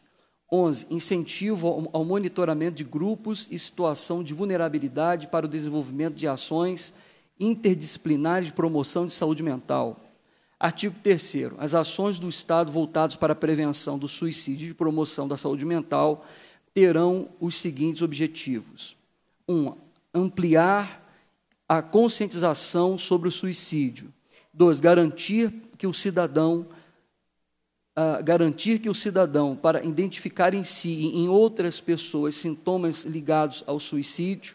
Três, garantir ao cidadão o acesso ao acompanhamento e à prevenção de quadros de sofrimento ou transtorno psíquico que possam conduzi-lo ao suicídio. Artigo 4 esta lei entra em vigor na data de sua publicação. Este é o parecer, senhor presidente. Agradeço, Vossa Excelência. Vamos colocar em discussão o parecer. Para discutir. Para discutir, a deputada Celise da Viola. Eu gostaria de parabenizar o autor do projeto e, principalmente, o relator aqui, com o substitutivo que ele apresenta, e lembrar que o relator, o deputado Charles Santos, presidente, é o nosso presidente da Frente Parlamentar de Prevenção ao Suicídio, Automutilação e doenças mentais. Então, é, é um, esse é um tema que precisa ser muito lembrado e ressaltado. Né? A gente tem que saber o que é. Só quem tem um caso desse de perto pode saber que o suicídio é, vem de uma dor profunda da depressão. Ele é decorrente da dor da alma, que é uma dor que não tem controle, e por isso né, ele chega a esse ponto. É, ele acha que a única forma de salvar da dor é o fim da vida. Tamanha é a dor que sente. Então, a gente precisa ter consciência de que isso é uma doença e que pode ser tratada e revertida de forma definitiva. Né? Então, incentivar o tratamento devido ao crescimento do índice de suicídios que temos, né? inclusive dentro das instituições religiosas. Então, a gente precisa muito desse projeto. Esse projeto é muito importante e fica aqui o meu destaque ao deputado Douglas, ao deputado Charles, que muito bem preside e conduz nosso trabalho nessa frente parlamentar. Presidente. Muito bem, continua em discussão. Deputada Ana Paula. Presidente Dalma, obrigada pela palavra. E quero aqui também parabenizar é, o deputado Douglas pela iniciativa, o deputado Charles também pelo parecer, pela iniciativa da Frente Parlamentar, e dizer que esse é um projeto que, para além de tratar de uma questão específica, está tratando da valorização da vida. E a deputada Celise bem colocou a importância que nós temos que dar, né, Celise, para essa temática. Eu trouxe alguns dados aqui, a gente já tinha falado brevemente na uma das últimas reuniões nossas aqui sobre suicídio, E a Organização é, Mundial da Saúde soltou uma pesquisa no ano passado, em setembro do ano passado, e ela traz um dado que é um dado muito preocupante, alarmante. No Brasil, o índice de suicídio aumentou 7%, enquanto em todo o mundo nós tivemos o índice decaindo, decaiu em 9,8%. E esse índice aqui no Brasil ele está concentrado na adolescência, teve um aumento de 24%. Então, é muito importante nós investirmos em políticas públicas que tratam essa temática. Estou é, vendo aqui pelo projeto que a propositura é de se trabalhar nas escolas, nas universidades, né, em diversos ambientes de acolhimento institucional.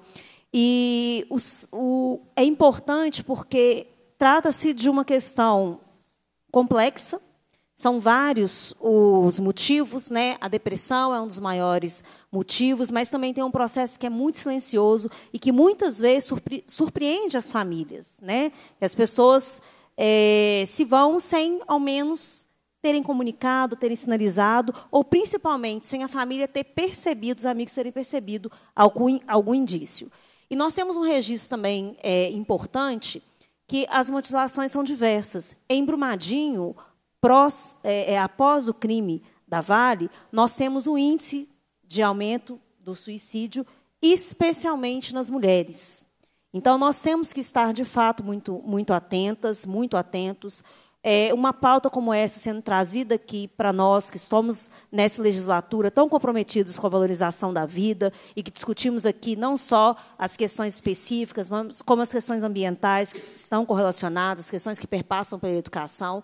Acho que é uma temática valorosa e quero, assim, de fato, parabenizar o deputado Douglas, o deputado Charles, e mostrar também que a Assembleia é uma instituição comprometida com a vida de cada um dos nossos cidadãos e cidadãs mineiras.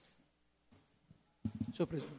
Com a palavra o nosso relator e o presidente da Frente Parlamentar, a quem parabenizamos pelo brilhante parecer. Com a palavra, Vossa Excelência. Senhor presidente, eu agradeço e inclusive as palavras das deputadas Celise, deputada Ana Paula, e com certeza o apoio dos, dos demais membros da comissão. Eu, eu, gostaria apenas de fazer o registro, senhor presidente, é, de que no ano passado realizamos algumas audiências em alguns municípios, deputada Celise, e nós tivemos a oportunidade de não só discutir, debater o assunto, de ouvir ah, e de ter ali a participação de alguns profissionais da área, mas nós tivemos a oportunidade de, de ter o contato com pessoas que vivenciaram a situação. É, tanto dentro de casa e pessoas que vivenciaram pessoalmente a, a, tentativa de suicídio, da automutilação e assim por diante. E também tivemos a oportunidade de, com os próprios profissionais que participavam da audiência, oferecer auxílio, oferecer ajuda. Então, é, fica aqui o registro de que o trabalho que a Assembleia tem feito não é apenas um trabalho de palavras, de leis, não é um trabalho frio, mas é um trabalho humano, é um trabalho próximo à sociedade. E um projeto de lei como esse apresentado aqui pelo, pelo deputado Douglas, eu tive a felicidade de ser, ser o o relator dele, me debrucei sobre ele e tenho hoje aqui o prazer de trazê-lo, de trazer um parecer favorável, eu tenho certeza que um projeto como esse vai dar ainda mais base para que a gente possa avançar nesse ano de 2020. Eu tenho dito que a questão do suicídio e os problemas mentais são inimigos invisíveis, não é verdade? Mas nós não podemos abaixar a cabeça, não podemos nos inclinar diante disso, não. Pelo contrário, nós estamos trabalhando, buscando ferramentas, encorajados e lutando pela vida do nosso próximo. Então, agradeço muitíssimo o apoio dos demais deputados, não só desse colegiado, mas de toda a Assembleia, do próprio deputado Agostinho Patrus, que tem sido incentivador do nosso trabalho, nosso presidente, e agradeço também o apoio aqui dos demais parlamentares e reafirmo aqui que em 2020 a frente parlamentar vai continuar avançando pelo Estado de Minas Gerais. Muito obrigado. Ainda para discutir, senhor presidente. Deputada Celise, com a palavra. É, eu gostaria de lembrar também que no ano de 2019 esse foi o tema da Unali. todos os seminários foram voltados para esse assunto. Então, discutimos amplamente, eu participei em todas as regiões, com exceção da nossa Sudeste, em que fui representada, né? Minas Gerais foi representada pelo nosso deputado Charles Santos, devido à minha impossibilidade de comparecer. Então, tivemos seminários em todas as regiões do Brasil, conhecemos os avanços em cada uma delas, né, e voltamos com muita força para que essa frente parlamentar nossa aqui, Ana, tenha respaldo e tenha motivação cada vez mais para a gente seguir em frente, ter legislações que protejam esse tipo de, de situação. Muito bem, eu tenho certeza que com a aprovação do parecer, a Assembleia Legislativa, através de nossa comissão, está dando um passo importante para que possamos ter uma lei importante, uma lei vigorosa, nas palavras do próprio relator. É necessário ter políticas públicas para que possa atender todo esse problema, todo esse drama que vive as famílias, a sociedade, por todos os relatos que aqui pudemos ouvir. Então, deputado Charles, Vossa Excelência com um parecer importante, presidente da frente, deputada Ana Paula também, que tem se debruçado muito, deputada Celise. Eu acho que podemos, com certeza, aí, caminhar muito para que tenhamos uma lei pronta para servir aí de grande disposição junto ao governo e um suporte às famílias necessitadas. Então, parabenizando o deputado Douglas como autor e a todos que têm colaborado nesse tema. Vamos colocar, continuar em discussão. Encerra essa discussão agora em votação. Os deputados de acordo permaneçam como se encontram com o parecer. Aprovado o parecer. Projeto de Lei 1136 do deputado Alencar da Silveira Júnior altera a Lei 14486 de 9 de dezembro de 2002, disciplina o uso do telefone celular nas salas de aula relatora deputada Celise da Viola. Consulte se Vossa Excelência está habilitada a emitir o parecer. Em condições, presidente. A palavra, Vossa Excelência. De autoria do deputado Alencar da Silveira Júnior, a proposição em epígrafe modifica a Lei 14.486, de 9 de dezembro de 2002, que disciplina o uso de telefone celular em salas de aula, teatros, cinemas e igrejas. A proposição em análise pretende alterar a Lei 14.486 de 2002, que disciplina o uso de telefone celular em salas de aulas, teatros, cinemas e igrejas. As principais alterações trazidas pela proposição ao texto da lei vigente são a ampliação da vedação, que deixa de incidir apenas sobre a conversão e passa a abranger toda forma de uso do telefone celular, a obrigatoriedade de afixação de aviso informativo sobre a proibição do uso de celular e, por fim, a fixação de multa para descumprimento da lei. Faz-se necessário, todavia, rever a proposta contida no caput do artigo 1 da proposição. O telefone celular, na atualidade, reúne uma série de funções e a lei, sob pena de cair no descrédito, não deve ignorar essa complexidade. Nesse ponto, vale recordar que a legalidade comporta uma dimensão formal e outra material, sendo que nesta o juízo de razoabilidade e proporcionalidade estão abrangidos. Assim, não se mostra proporcional a ampliação da norma contida no artigo 1 da Lei 14.486 de 2002, que hoje estabelece ser vedada a, a conversação para a fórmula contida no artigo 1 da proposição, a qual peremptoriamente determina ser proibido o uso de celular no interior de estabelecimentos diversos, entre eles teatros, cinemas e templos religiosos. É proporcional vedar a conversação pelo aparelho celular, pois essa conduta pode, de fato, perturbar as atividades desenvolvidas em certos estabelecimentos. Ao passo que o uso silencioso do aparelho, se não é causa de incômodo, não pode ser proibido. A título de exemplo, a alteração legislativa proposta tornaria ilegal a conduta do cidadão que, durante uma celebração religiosa, procurasse na internet o texto da passagem bíblica em discussão, e, do mesmo modo, tornaria ilegal a conduta do cidadão que, antes do início de uma peça de teatro, pesquise sobre a biografia dos autores que façam parte do elenco. A ampliação irrazoável de proibições constitui ameaça à liberdade individual, princípio consagrado no caput do artigo 5 da Constituição da República, e por essa razão opinamos pela supressão do artigo 1 da proposição.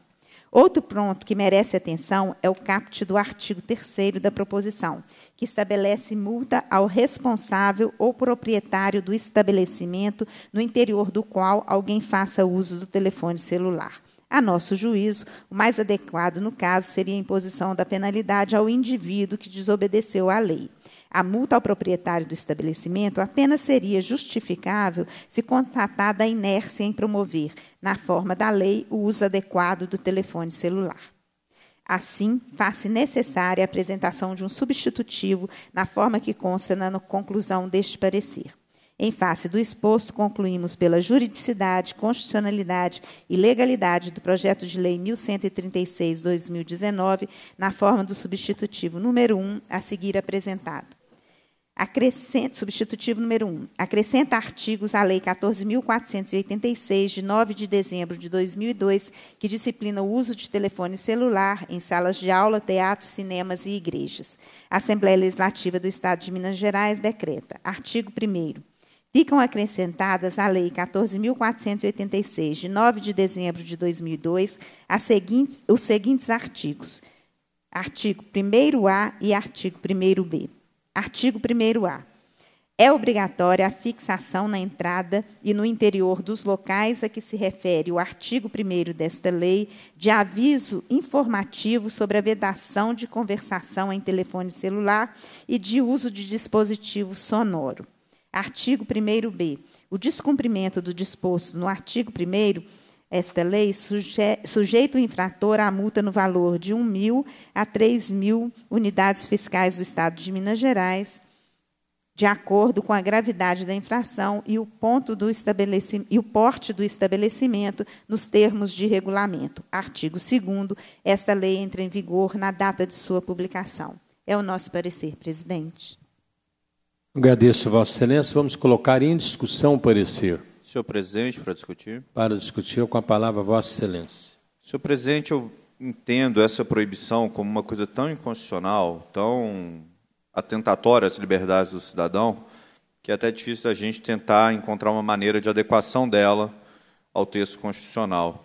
A deputada Celise Laviola, relatora da proposição, apontou muito adequadamente que Tal qual proposta, a proposição poderia vedar que a pessoa buscasse na internet o texto bíblico que é objeto do templo, do culto que ela está participando. Mas eu não, eu não limitaria apenas nas questões que podem ser úteis. Né? A pessoa que está entediada dentro de um filme, assistindo no cinema, está entediada, está achando o filme ruim, mas foi com um grupo de amigos e não quer ir embora antes do término da sessão, que mal há que ela fique pendurada no WhatsApp até o fim do filme. Não vai incomodar ninguém é ela com o celular dela, olhando para a tela dela, enquanto todo o resto do público olha para a tela grande.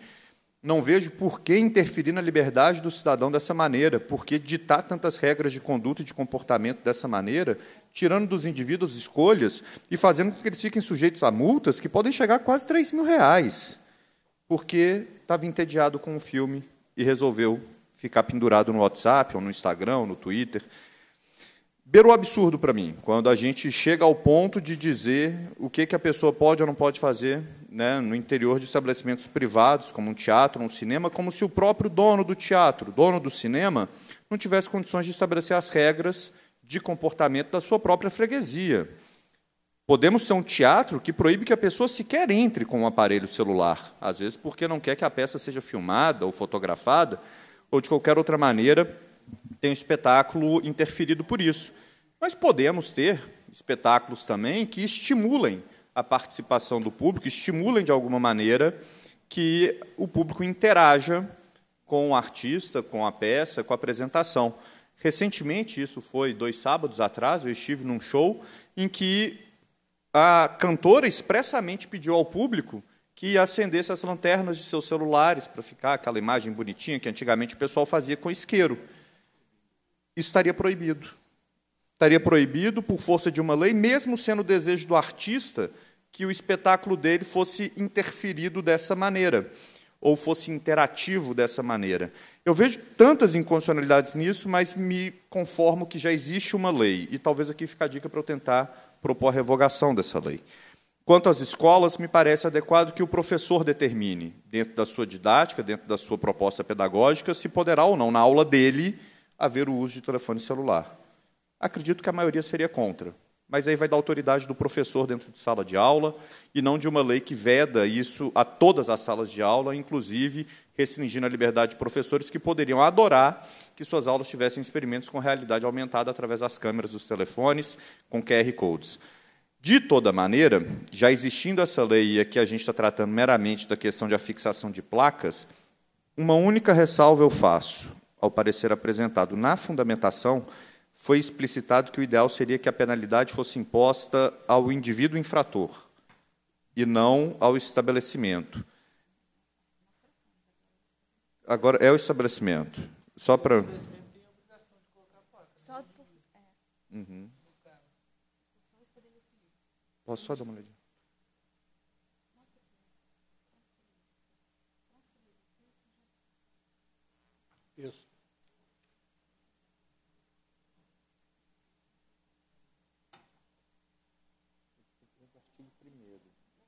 O artigo 1 não, mas o artigo 1 da lei não é a fixação.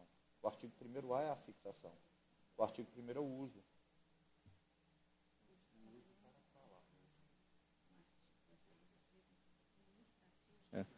Senhor presidente, eu, eu mantenho aqui essa observação. Da maneira como ficou redigido o substitutivo, teremos, além do artigo 1 da lei, cujo texto é fica proibido o uso de telefone celular no interior das salas de aula, bibliotecas, escolas públicas e privadas, em teatros, cinemas e templos religiosos, foram acrescentados os artigos 1A e 1B.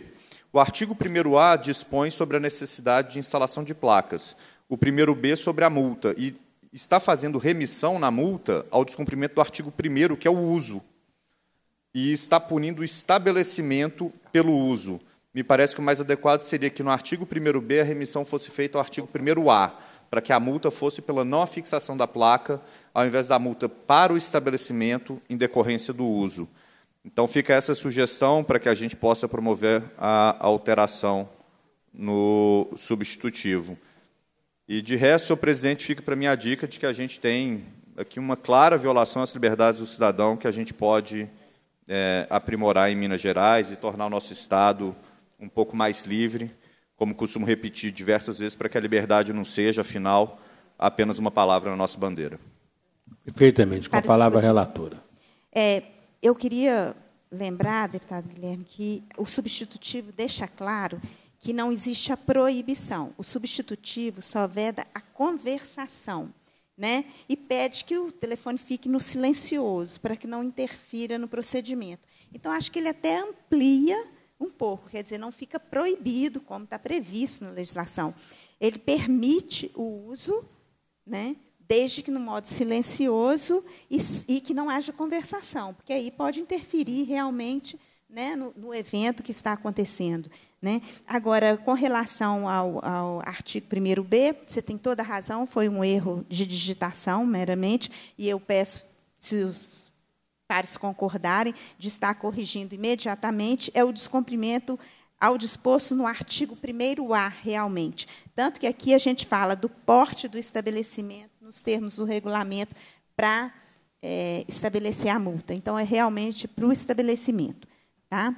Então, essa correção eu já pedi, já está sendo feita, e aqui no texto também eu já fiz a mão a correção. Se os pares estiverem de acordo, realmente teria que ser aqui primeiro A mas numa falha minha ficou só o artigo primeiro. Está corrigido aqui. Viu? Obrigada. Senhor presidente. Continue, deputado Bruno. Senhor presidente, antes de mais nada, eu gostaria de parabenizar a relatora Celis Laviola pela maneira que ela conduziu esse projeto, porque de maneira semelhante ao deputado Guilherme da Cunha, o meu entender é que o projeto original ele é absurdo. Eu iria dizer que beira o absurdo, mas seria um eufemismo, ele é absurdo é, é uma tentativa do Estado ser babá e controlar a vida das pessoas e dizer o que pode ou não ser feito, sendo que as organizações elas podem determinar a maneira como elas querem que as coisas ocorram. Os cinemas têm política, os teatros têm política.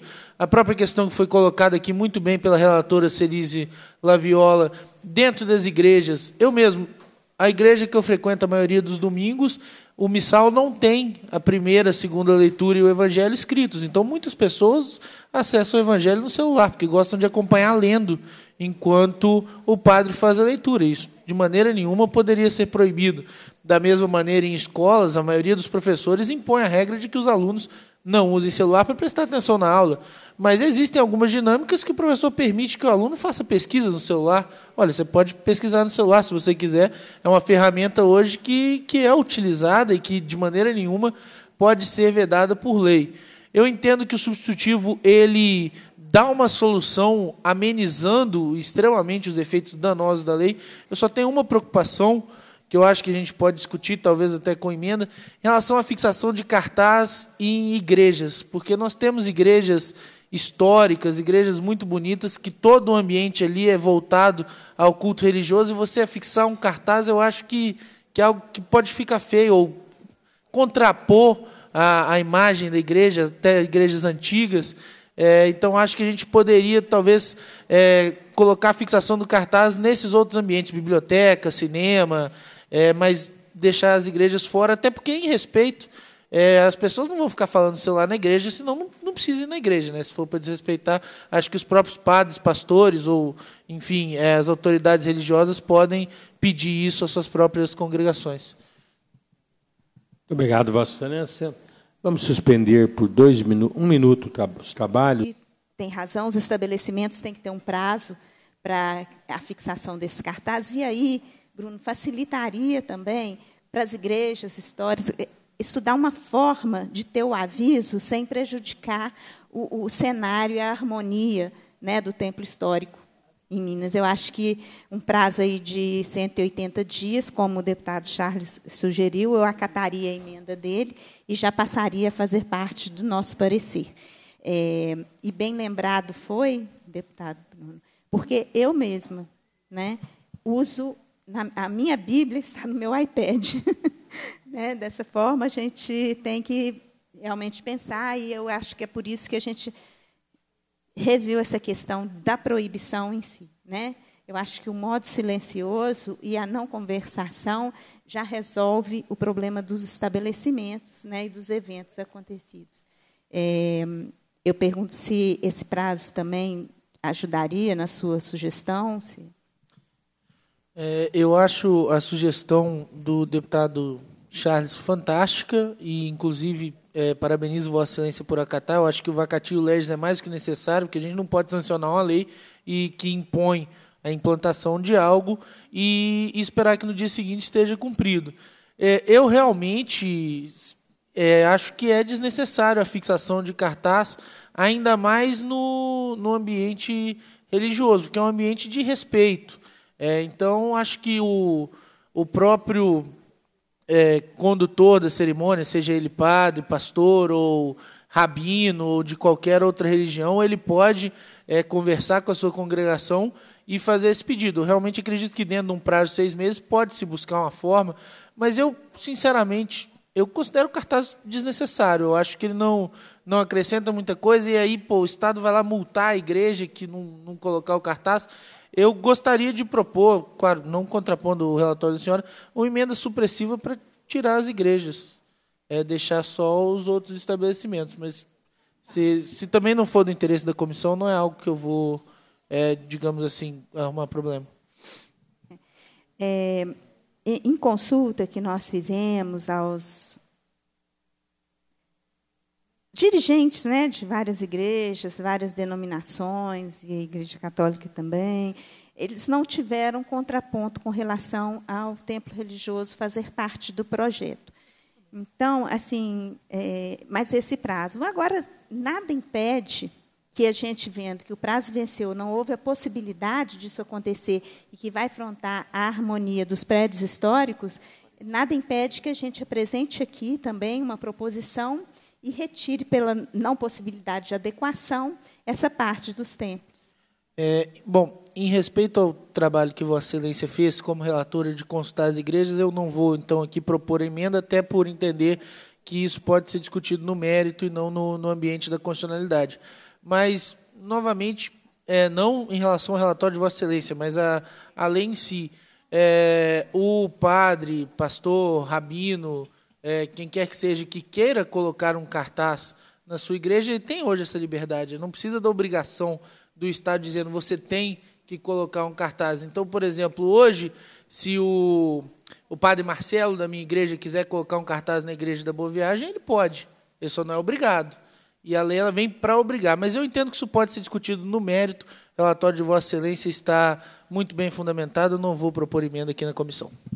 Eu agradeço o deputado Bruno, presidente, e acato a emenda apresentada pelo deputado Charles. Com a palavra o deputado Charles para a apresentação da emenda.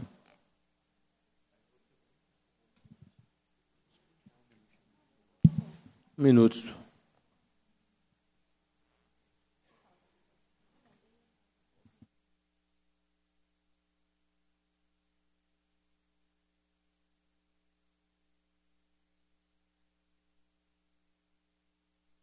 Senhor presidente, a, a emenda propõe é, que ela entrará em vigor, a lei entrará em vigor 180 dias após a aprovação da lei.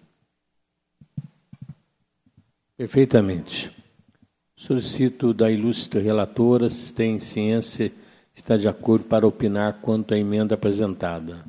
Estou de acordo, sim, e, e já está sendo elaborado no parecer, então o senhor pode seguir a votação do parecer, corrigindo para o primeiro A, e depois a votação da emenda, que, com parecer favorável da relatora.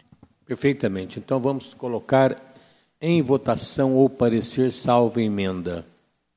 Senhoras deputadas e deputados, de acordo com o parecer, permaneçam como se encontra. Aprovado. Vamos colocar agora em em votação a emenda apresentada, número 1, um, pelo deputado Charles Santos, com aprovação já da relatora. Senhoras deputadas e deputados, de acordo com a emenda número 1, um, permaneçam como se encontram. Aprovada a emenda 1. Solicitamos a ilustre relatora para que providencie a redação do novo parecer, ou vai pedir prazo. Não, já, já está sendo está feita a redação do novo parecer. Um minuto, então. Suspender um minuto para a apresentação do parecer.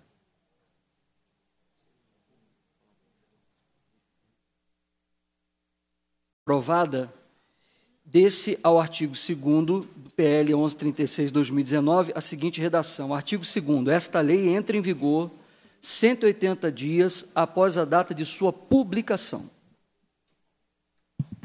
Perfeitamente. Com a palavra relatora para a leitura da nova redação já aprovada. É, o parecer né, permanece o mesmo, apenas com as alterações sugeridas pelo deputado Guilherme, que foi realmente uma falha minha na, na de não ter observado né, na digitação, e a emenda do deputado Charles, já constando, então eu vou ler o substitutivo que ficou como conclusão do nosso parecer. Substitutivo número 1, acrescenta artigos à Lei 14.486, de 9 de dezembro de 2002, que disciplina o uso de telefone celular em salas de aula, teatros, cinemas e igrejas. Assembleia Legislativa do Estado de Minas Gerais decreta, artigo 1 ficam acrescentados à Lei 14.486, de 9 de dezembro de 2002, os seguintes artigos 1A e 1B. Artigo 1A. É obrigatória a fixação na entrada e no interior dos locais a que se refere o artigo 1 desta lei de avisos informando sobre a vedação de conversação em telefone celular e de uso de dispositivo sonoro. Artigo 1b. O descumprimento do disposto no artigo 1a desta lei, sujeito o infrator à multa no valor de mil a três mil unidades fiscais do Estado de Minas Gerais, de acordo com a gravidade da infração e o porte do estabelecimento, nos termos de regulamento. Artigo 2 esta lei entra em vigor 180 dias após a data de sua publicação. Esse é, ficou o nosso substitutivo, presidente.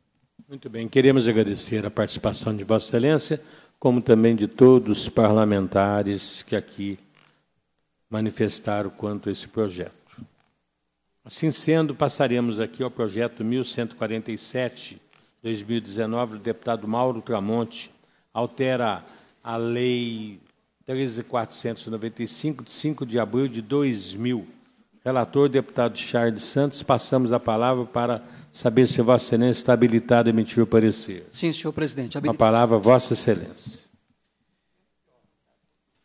É, de autoria do deputado Mauro Tramonte, o projeto de lei 1147/2019 altera pretende alterar a lei 13.495 de 5 de abril de 2000, que institui o Programa de Proteção a Vítimas e Testemunhas de Infrações Penais, para ampliar o aspecto material de sua hipótese de incidência e também a proteção às pessoas que colaborem com investigações em curso perante comissão parlamentar de inquérito.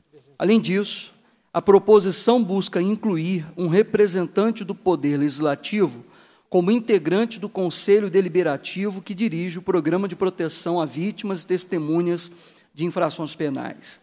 Em nosso entendimento, a proposição busca fundamento de validade no inciso 6 do artigo 10 da Constituição Mineira, que estabelece que compete ao Estado manter e preservar a segurança e a, e a ordem públicas e a incolumidade da pessoa e do patrimônio.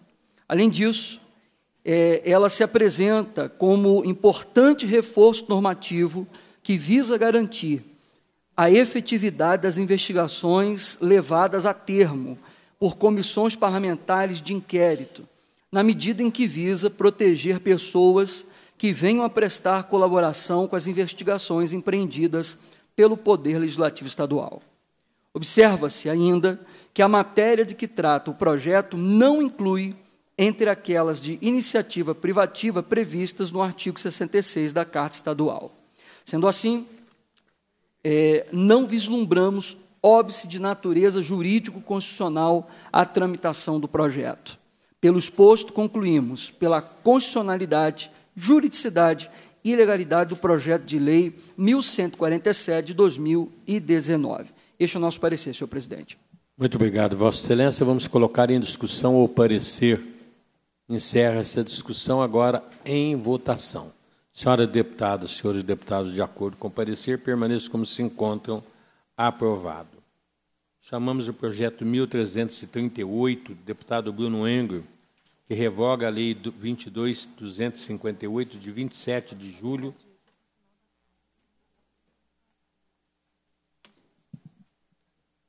que revoga a Lei 22.258, de 27 de julho de 2016, que proíbe o porte de arma branca do Estado de Minas Gerais. Relator, deputado Guilherme da Cunha, consulte se Vossa Excelência está habilitado a emitir o parecer. Sou, senhor presidente. Com a palavra, Vossa Excelência. Parecer para o primeiro turno do projeto de lei número 1238 de 2019, de autoria do deputado Bruno Engler, o projeto de lei em epígrafe revoga a lei número 22.258, de 27 de julho de 2016, que proíbe o porte de arma branca no Estado e dá outras providências. O autor fundamenta a proposição na inocuidade e desnecessidade da norma que pretende ser excluída do ordenamento jurídico. Além da conveniência e oportunidade da medida, explicitada pelos seus próprios fundamentos, cabe destacar a competência residual do Estado, decorrente do parágrafo 1 do artigo 25 da Constituição da República, bem como que, logicamente, a autoridade competente para a edição da norma também deve poder revogá-la. Não vislumbramos óbvio a iniciativa parlamentar que se baseia no artigo 65 da Constituição do Estado.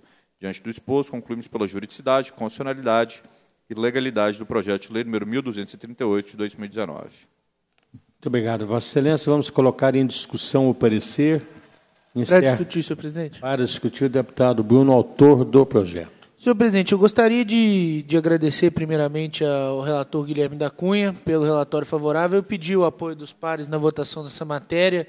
A revogação dessa lei, que a gente carinhosamente apelidou de Estatuto do Dissacamento, é, ela se faz extremamente necessária porque primeiro porque é uma lei inócua que não funciona. Bandido não respeita a lei, então ela só atinge aqueles que seguem a lei. É, e é uma é em cima de uma premissa idiota de criminalizar o objeto e não as pessoas, da mesma maneira que o Estatuto do Desarmamento. Ao invés de você colocar uma punição severa contra aqueles que praticam crime, você é, proíbe o porte de um objeto. Da mesmo mesmo princípio do Estatuto do Desarmamento se vê aqui. E por último, porque é uma lei que foi pensada para as grandes cidades, para a região metropolitana de Belo Horizonte, para outras grandes cidades, onde se vê o, o objeto, a arma branca grande, como objeto de prática criminosa, mas que não lembrou do restante do estado de Minas Gerais, do trabalhador rural mais de uma oportunidade eu ouvi de homens e mulheres do campo que tiveram problemas porque andavam com sua ferramenta de trabalho, algumas vezes um facão, uma foice, objetos cortantes com mais de 10 centímetros e que tiveram problemas em virtude dessa lei. Então, acho que é uma lei que muito mais atrapalha o nosso Estado do que ajuda e peço o voto dos pares para aprovação do relatório. Muito obrigado, Vossa Excelência. Vamos, já está aprovado o parecer. Vamos chamar agora o projeto 1298, de autoria do deputado Zé Reis, veta, veda a comercialização e consumo de bebidas alcoólicas a portadores de arma de fogo em boates, casas noturnas, casas de show, congêneres da outras providências. Relator, deputado Charles Santos, consulte-se Vossa Excelência, está habilitado a emitir o parecer. Sim, senhor presidente. Com a palavra, Vossa Excelência de autoria do deputado Zé Reis, o projeto de lei 1298, 1298 de 2019 veda a comercialização e o consumo de bebidas alcoólicas a portadores de armas de fogo em boates, casas noturnas, casas de shows e congêneres e da outras providências. A análise do projeto de lei comporta enfoque sob dois prismas o da regulamentação da produção e consumo, por um lado, e por outro, o da segurança pública, pela vertente de medidas que busquem prevenir a ocorrência de lesões e danos a terceiros.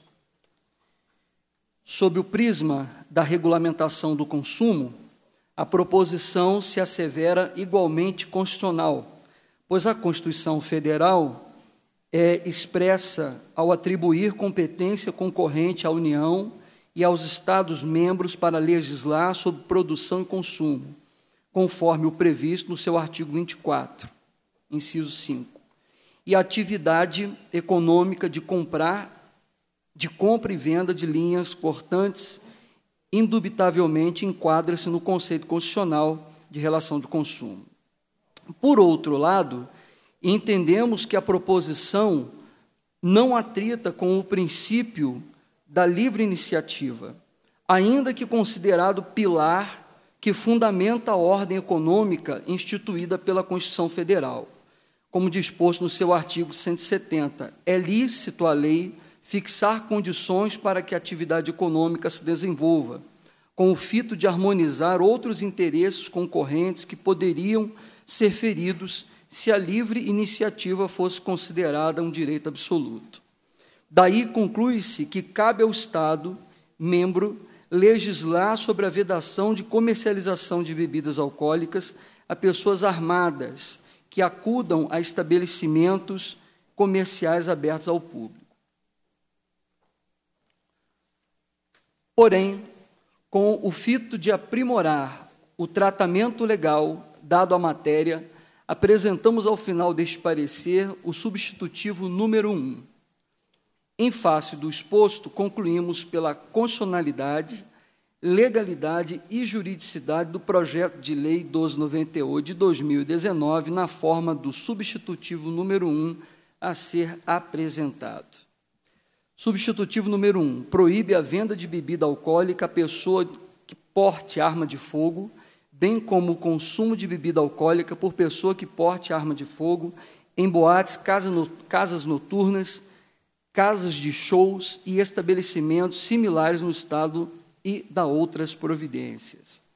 A Assembleia Legislativa do Estado de Minas Gerais decreta. Artigo 1 ficam proibidos a venda de bebidas de bebida alcoólica a pessoas que porte arma de fogo, bem como o consumo de bebida alcoólica por pessoas que porte arma de fogo em boates, casas noturnas, casas de shows e estabelecimentos similares no Estado. Artigo 2 os estabelecimentos a que se refere o artigo 1 ficam obrigados a revistar com detector de metais as pessoas que neles pretendam entrar.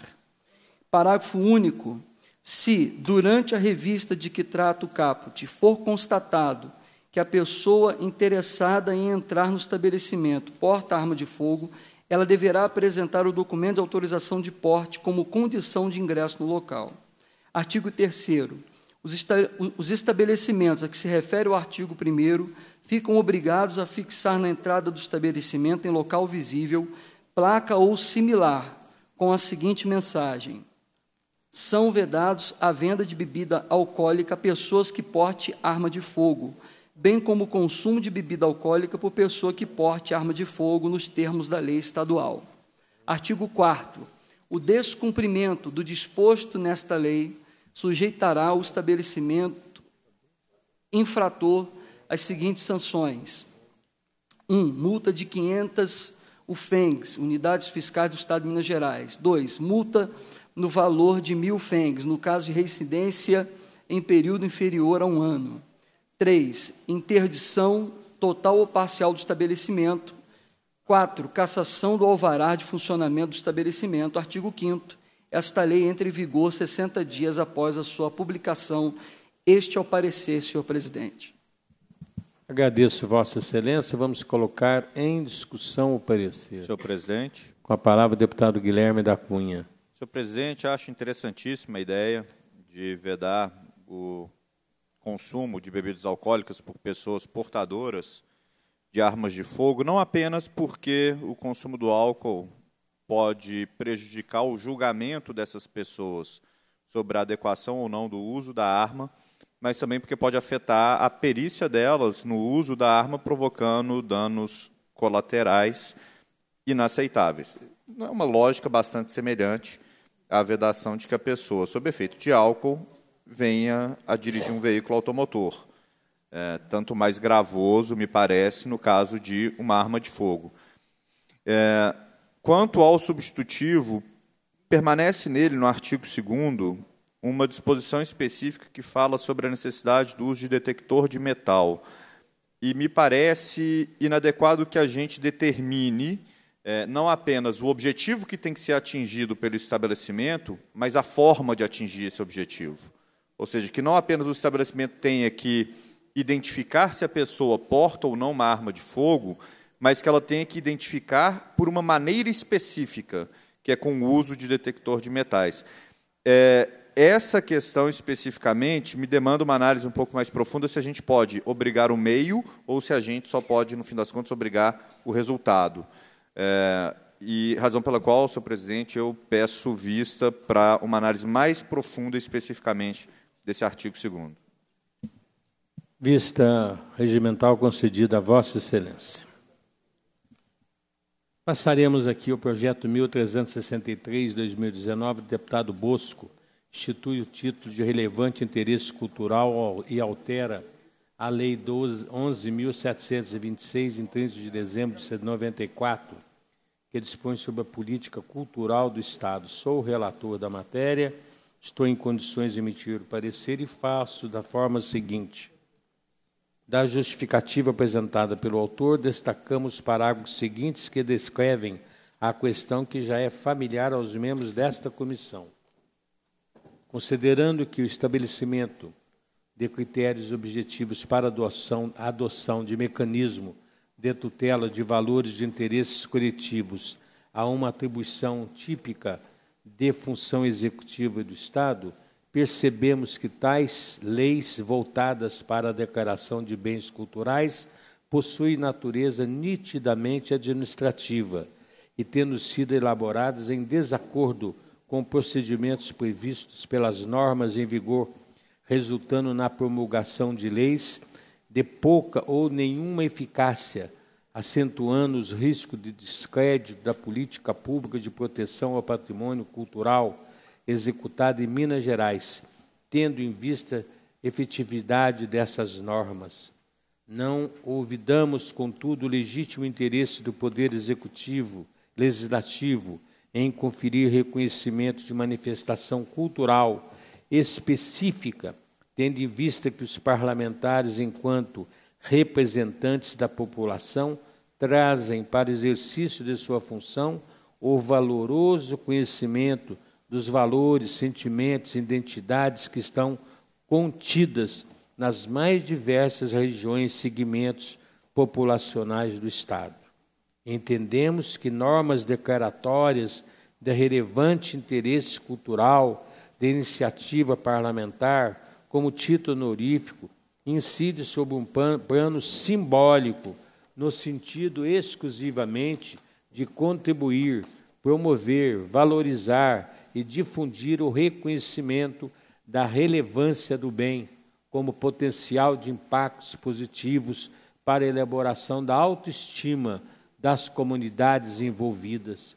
Todavia, tais efeitos não diferem dos produzidos anualmente pelas leis de declaração de patrimônio cultural editadas pelo Parlamento Mineiro. Em compensação, a criação de um instrumento próprio para o poder legislativo, distintos dos mecanismos de preserva preservação e proteção do poder executivo, poderá contribuir para evitar tensões entre os poderes, além de manter o salvo a credibilidade da política pública de proteção do patrimônio cultural. Sob o prisma jurídico, a Constituição da República, em seu artigo 216, determina que constitui patrimônio cultural brasileiro os bens de natureza material e imaterial, formados individualmente em conjunto, portadores de referência à identidade, ação, à memória dos diferentes grupos formadores da sociedade brasileira. O mesmo, no artigo 216 da Carta Federal, estabelece seu parágrafo primeiro que o poder público com a colaboração da comunidade, promoverá e protegerá o patrimônio cultural brasileiro por meio de inventários, registros, vigilância, tombamento, desapropriação de outras formas de acautelamento de preservação. Em face do exposto, concluímos pela juridicidade, constitucionalidade e legalidade do projeto 1363 conforme manifestamos.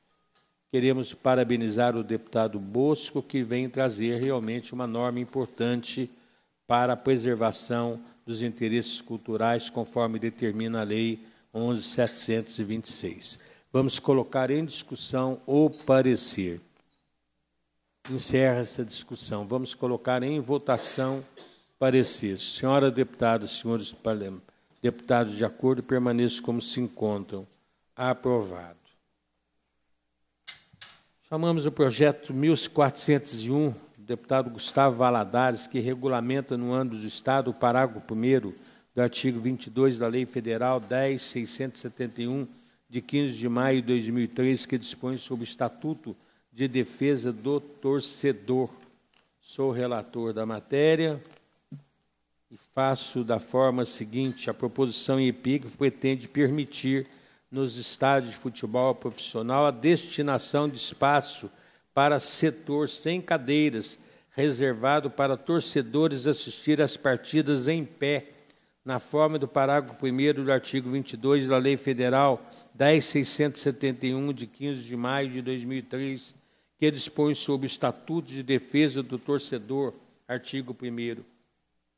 Os setores reservados para os torcedores assistirem as partidas em pé não excederão a 20% da capacidade total do estádio, ressaltando que nesses setores o número de lugares para os torcedores será, será limitado de acordo com critérios de saúde, segurança e bem-estar.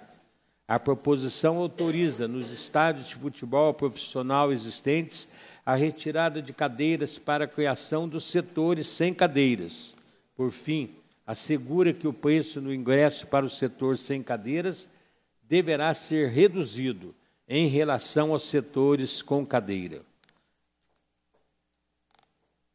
Contudo, a proposição em análise difere parcialmente da lei fluminense referida. A, re, a referida lei autoriza especificadamente no estádio Maracanã, conforme já foi anunciado pela lei 8.775, a realização de obras para retirada de cadeiras do setor norte e sul existentes na parte inferior, com executivo, com, com exclusivo fim de criação dos setores populares.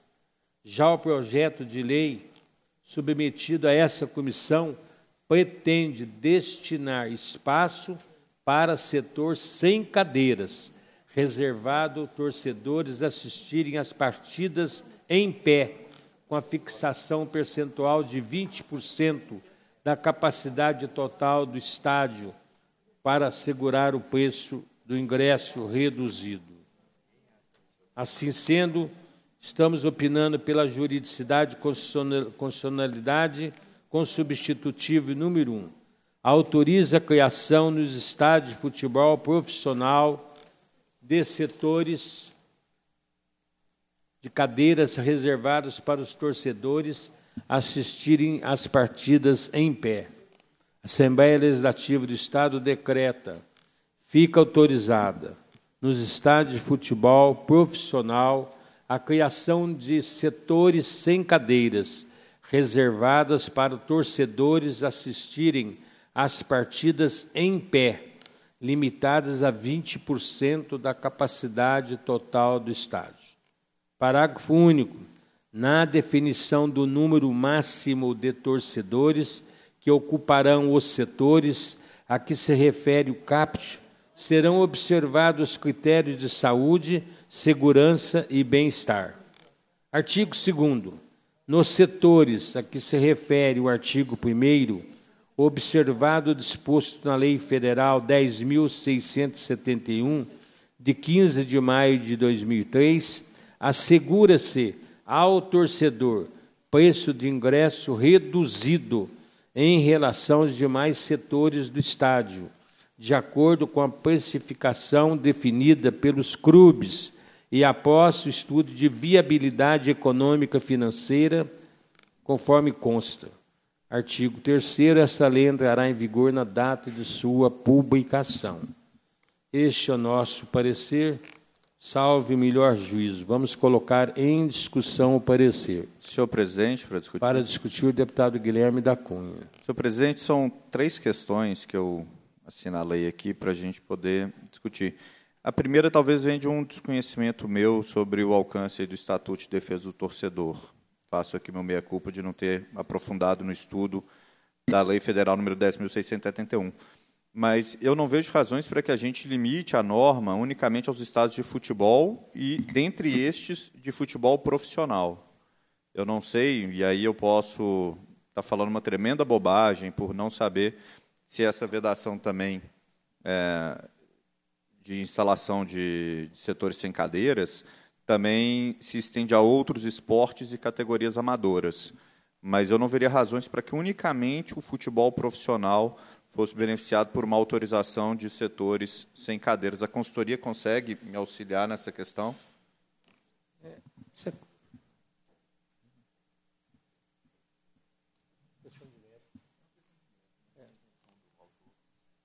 É, se Vossa Excelência permitir, nós vamos deixar essa questão que Vossa Excelência está manifestando exclusivamente questão de mérito, essa identificação. Estamos tratando exclusivamente, neste momento, da constitucionalidade do pedido. Não, perfeitamente. Acho que não, Vossa Excelência tem razão. É, tem... Por, é, sim, é, é, que dentre as uh, questões constitucionais que a gente tem, existe o princípio da isonomia, é. que determina que deve ser dado tratamento igual a quem está em situações equivalentes. Me parece que nesse âmbito de praças esportivas é, não faria tanto sentido a distinção, mas ok, sim. deixemos para o mérito. A outra consideração, sim, eu acredito que é puramente constitucional, e aqui já sem nenhuma dúvida quanto ao que determina o Estatuto do Torcedor. É a disposição de que o preço desse setor seja inferior ao preço dos demais setores. A determinação de preço, a meu sentir, e a Constituição determina isso, deve ser livre pelo promotor do espetáculo e muito fundado na oferta e na demanda. É, se houver uma demanda maior de pessoas buscando espaço no setor em que não há cadeiras, e sabemos a cultura que existe no Brasil de se assistir jogo de pé, pulando. 20%, né? né? Não, não, não digo só do 20%, ah, tá. eu digo da determinação de que o preço tem que ser mais baixo. Sim. Porque aqui a gente está entrando na liberdade do empreendedor de definir preço para o seu produto.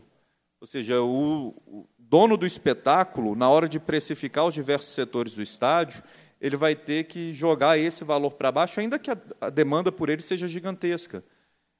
E imaginemos uma situação em que, bem, é, toda a torcida deseja estar num setor que vai assistir em pé, que vai assistir pulando, na tradição que a gente tem de assistir jogo de futebol no Brasil, especialmente as grandes decisões. O valor vai ter que ser inferior ao de outros setores que podem ter uma procura muito menor. É, não faz sentido o Estado interferir na formação de preço pelo particular.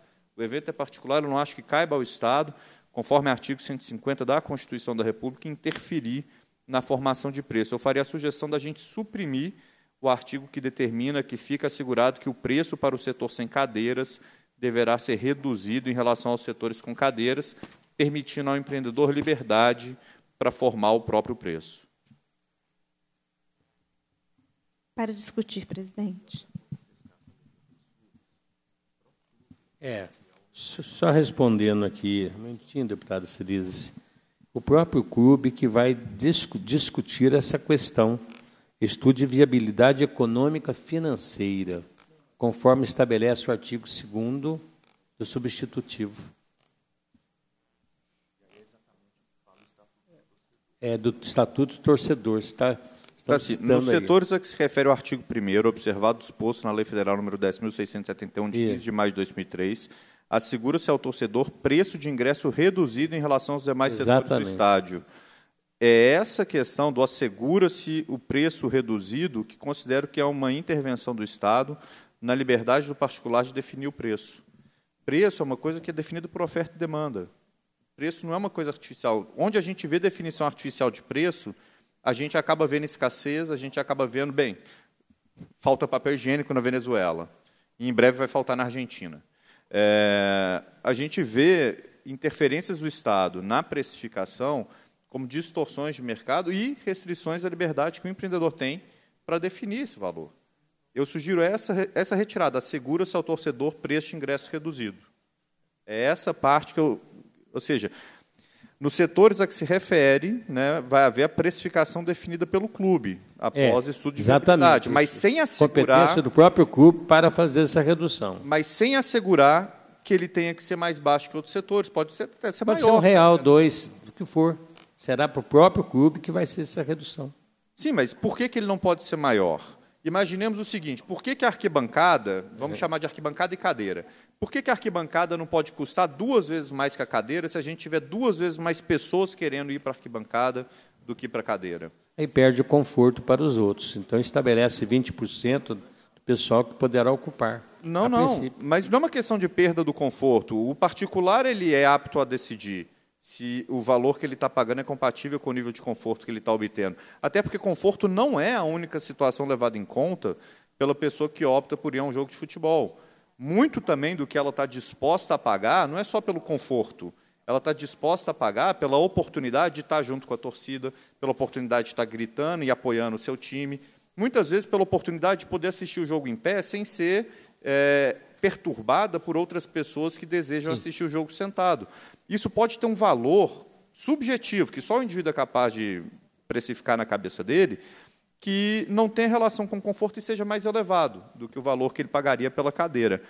Eu acho que toda vez que a gente tenta criar uma justificativa de por que o preço deve ser mais alto ou mais baixo, a gente está considerando que a nossa avaliação passa por cima da avaliação daquela pessoa que é quem, no fim das contas, vai abrir a carteira e gastar o dinheiro. Ela tem capacidade de decidir isso. Pode ser que 90% das vezes o ingresso realmente seja mais barato, mas é necessário que haja liberdade para fixação desse valor, sem a interferência do Estado dizendo quem deve pagar mais ou quem deve pagar menos no mesmo espetáculo. Eu creio que o ideal é que a oferta e a procura, né, oferta e demanda, ditem essa relação de preço. A, a sugestão é para que a gente suprima a parte em que assegura-se ao torcedor preço de ingresso reduzido em relação aos demais setores do estádio. Perfeitamente. Para discutir, presidente. Deputada Ciris, para discutir. É, presidente, deputado Guilherme, eu também eu tenho a impressão que aí a gente quer também é, favorecer, porque hoje o ingresso para o campo tem um preço muito elevado. Então, a gente quer favorecer para que todos possam ter acesso. Eu tenho a impressão que a intenção é essa. Eu acho válida, justa, porque é para que todos tenham acesso a, a, ao espetáculo, possam participar. E como é uma forma menos confortável, ainda que opcional, é justo né, que um preço mais acessível possa ser concedido para que amplie o público dos, do, dos jogos. Eu acho que seria nesse sentido. A, a minha interpretação ao ouvir aqui o substitutivo e ao ler o, o, projeto do deputado Gustavo, eu tenho a impressão que é essa, de favorecer aqueles que hoje não podem ir, aproveitar né, e favorecer aqueles que hoje não podem assistir o, os jogos devido ao alto custo dos ingressos fornecidos, principalmente nos grandes clássicos. É, para discutir, senhor presidente. Deputado Bruno. Senhor presidente, é, de maneira semelhante a, aos questionamentos levantados pelo deputado Guilherme, eu concordo, até concordo. É, primeiro, quero parabenizar o deputado Gustavo pelo projeto, parabenizar Vossa Excelência pelo relatório. E vou votar favoravelmente, mas eu, eu entendo de novo dessa dinâmica de que o Estado quer ditar tudo até as instituições privadas. E esse não é um problema do projeto do Gustavo Valadares, mas as próprias regulamentações excessivas do, do Estatuto do Torcedor. É, e levanta a questão, é, também desconheço o Estatuto do Torcedor, se ele trata apenas do futebol profissional, acho que poderia se estender a todas as categorias. Acho que o limite de 20% ele é desnecessário. Ora, se um clube quiser fazer um estádio com 30% de arquibancada, ou 40%, qual que é o problema? Mas também entendo que é matéria de mérito, acho que o relatório de Vossa Excelência está impecável, isso pode ser discutido na Comissão de Esporte, Lazer e Juventude, é, esse limite que eu acho desnecessário. Em relação à questão que o, o deputado Guilherme colocou do preço ser mais barato, eu acho que interfere sim na liberdade do promotor de evento de definir os seus preços. Mas é, não acho que é uma questão que a gente precisa dar tanta relevância pela questão da prática. É. é sempre o ingresso de arquibancada é mais barato. Historicamente sempre foi. É comum. E, e sempre vai ser. Sempre comum. É, ninguém vai colocar o camarote mais barato que a arquibancada. Então, eu acho que é desnecessário, porque na prática já ocorre. Mas não acho que incorre em, em vício a tramitação desse projeto. Então, vou votar favoravelmente ao relatório de Vossa Excelência, parabenizando o autor é, pela, pela proposição, até porque eu acho que a gente vive no Brasil, infelizmente, uma tentativa de gumetização do futebol, toda hora tentando aproximar da Europa, é, o que eu acho que não tem nada a ver, eu acho que o nosso futebol é diferente, é uma cultura diferente. Eu sou frequentador de, de estádio, ninguém gosta de assistir jogo sentado, então nada mais adequado do que é, um setor para as pessoas ficarem em pé mesmo, você consegue acomodar mais pessoas, não precisa ficar colocando cadeira. Dessa forma, eu declaro aqui meu voto favorável ao relatório de Vossa Excelência. Obrigado, Vossa Excelência. Continua a discussão, deputado Guilherme. Senhor presidente, algumas considerações em relação aos argumentos apresentados. É, primeiro, em relação ao preço. É, o fato de, historicamente, sempre o valor da geral ter sido mais barato que o da arquibancada, o da arquibancada mais barato da cadeira, o da cadeira mais barato do que o da cadeira especial, isso pensando na configuração do Mineirão pré-copa, indica claramente uma questão de oferta e demanda, porque naquela época havia liberdade para colocação de preço. Mas o fato disso ser recorrente é diferente do fato disso ser obrigado. É diferente do fato da gente impor essa escolha, impor essa precificação particular. Pode ser que, na maioria dos casos, de fato, né, a arquibancada acabe saindo mais barato que a cadeira, ou pode ser que não. Porque, se repararmos bem, há uma certa cultura de se ir de arquibancada, e aqui eu gosto de lembrar de uma música do meu time de coração, que é o Flamengo, que diz que domingo eu vou ao Maracanã vou torcer para o time que sou fã, vou levar foguetes e bandeiras, não vai ser de brincadeira, ele vai ser campeão. Mas eu não vou de cadeira numerada, eu vou de arquibancada para sentir mais emoção. Isso é da cultura do torcedor brasileiro. E não cabe aqui a gente fixar qual setor vai ser mais barato ou mais caro, sendo que cabe à oferta e à demanda fazer isso. A liberdade do empreendedor fazer isso. O artigo 150 da Constituição garante essa liberdade a ele. Mas aqui eu ainda queria entrar num outro ponto, que é da garantia do acesso, que foi bem lembrada pela deputada Celise, mas que passa ao largo desse projeto. Não tem absolutamente nada a ver com esse projeto. É, porque aqui não determina que o setor vai ter que ser barato. Determina só que vai ter que ser mais barato que o outro. Numa grande decisão, numa final de Copa Libertadores, que teremos né, esse ano, sendo realizada no Maracanã. Acredito que novamente com a presença do meu clube de coração. Os ingressos poderão custar mil reais na cadeira e R$ 999,90 na arquibancada. Estaria, estaria aqui satisfeita a norma, mas não estaria popularizado o acesso.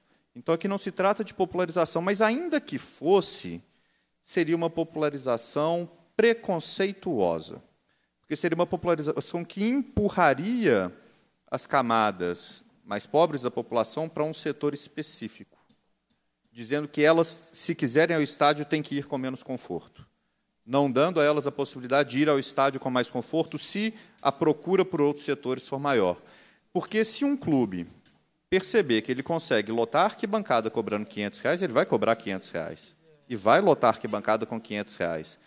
E aí, se ele não consegue lotar as cadeiras pelos mesmos 500 reais, ele não vai poder cobrar 200 ou 100 ou 10 reais na cadeira para lotar. Porque ele vai estar proibido por uma norma de cobrar menos do que cobra na arquibancada. Isso pode acabar dificultando o acesso. Isso pode acabar fazendo com que setores de baixa procura não possam ter baixos preços e jogue o preço artificialmente para o alto. Pode dificultar o acesso das pessoas. Eu insisto que nesse ponto a questão é de constitucionalidade, é da livre iniciativa, é do artigo 150 da Constituição da República. É o Estado tentando controlar preços de eventos privados e, portanto, me parece adequado que a gente faça a supressão no texto final, já aqui nessa comissão que é de constitucionalidade. Senhor presidente, me foi aqui trazida a, o texto da emenda, agradeço a consultoria pela agilidade em produzi-la. A proposta de emenda é para que suprima-se o artigo 2 do substitutivo número 1 do PL número 1401 de 2020, pelas razões já amplamente debatidas. Muito bem, agradeço Vossa Excelência. Então, diante exposto, sobre a mesa a proposta de emenda do deputado Guilherme, que recebeu o número 1. Se a presidência informa nos termos do artigo 242, e ouvi atentamente o posicionamento da Vossa Excelência, em que pese todo respeito e vênia que tenho pela vossa, por Vossa Excelência, vou manifestar é, contrariamente ao posicionamento de Vossa Excelência, razão pela qual rejeito, como relator, o recebimento da emenda. Neste momento, vamos colocar em discussão o parecer salvo emenda. Perdão, em votação. Discussão já acabou. Em votação o parecer. Senhora deputada, senhores deputados, de acordo com o parecer, permaneçam como se encontram. Aprovado. Vamos colocar agora em votação a emenda do deputado Guilherme, que mereceu desse relator contrariamente. Senhores deputados e deputadas, de acordo com o parecer, com a emenda, permaneçam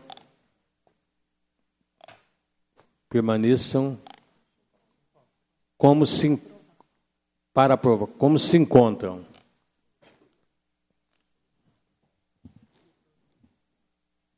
Rejeitada a emenda. Muito obrigado.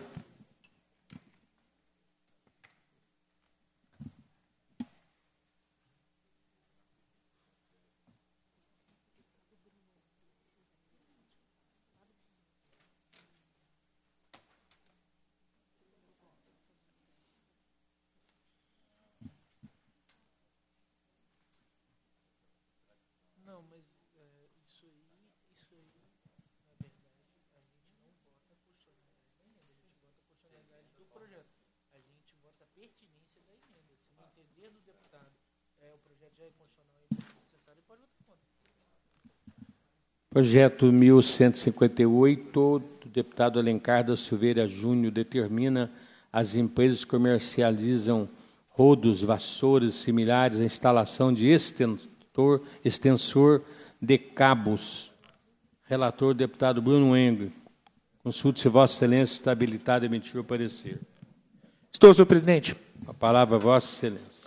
De autoria do deputado Ricardo Silveira Júnior, o projeto de lei 1158-2015 pretende obrigar as empresas que comercializam rodos, vassouras similares no Estado a disponibilizarem extensor de cabo para estes produtos. Segundo o autor da proposta, o cabo curto de uma vassoura obriga a pessoa a manter uma postura muito cansativa, pois a coluna vertebral fica curvada para manipular a vassoura, sustentando que o aumento do cabo tornará a postura muito melhor, contribuindo para a saúde do consumidor e evitando gastos públicos do Estado com problemas de saúde dos cidadãos. Do ponto de vista da constitucionalidade e legalidade da matéria, em primeiro lugar, é oportuno ressaltar que o Estado possui competência concorrente para legislar sobre direito do consumidor, conforme dispõe o artigo 24, inciso 5 da Constituição Federal e o artigo 61, inciso 18 da Constituição do Estado de Minas Gerais. No entanto, é preciso observar os limites de atuação por parte do legislador estadual no que concerne a competência concorrente para legislar sobre direitos do consumidor.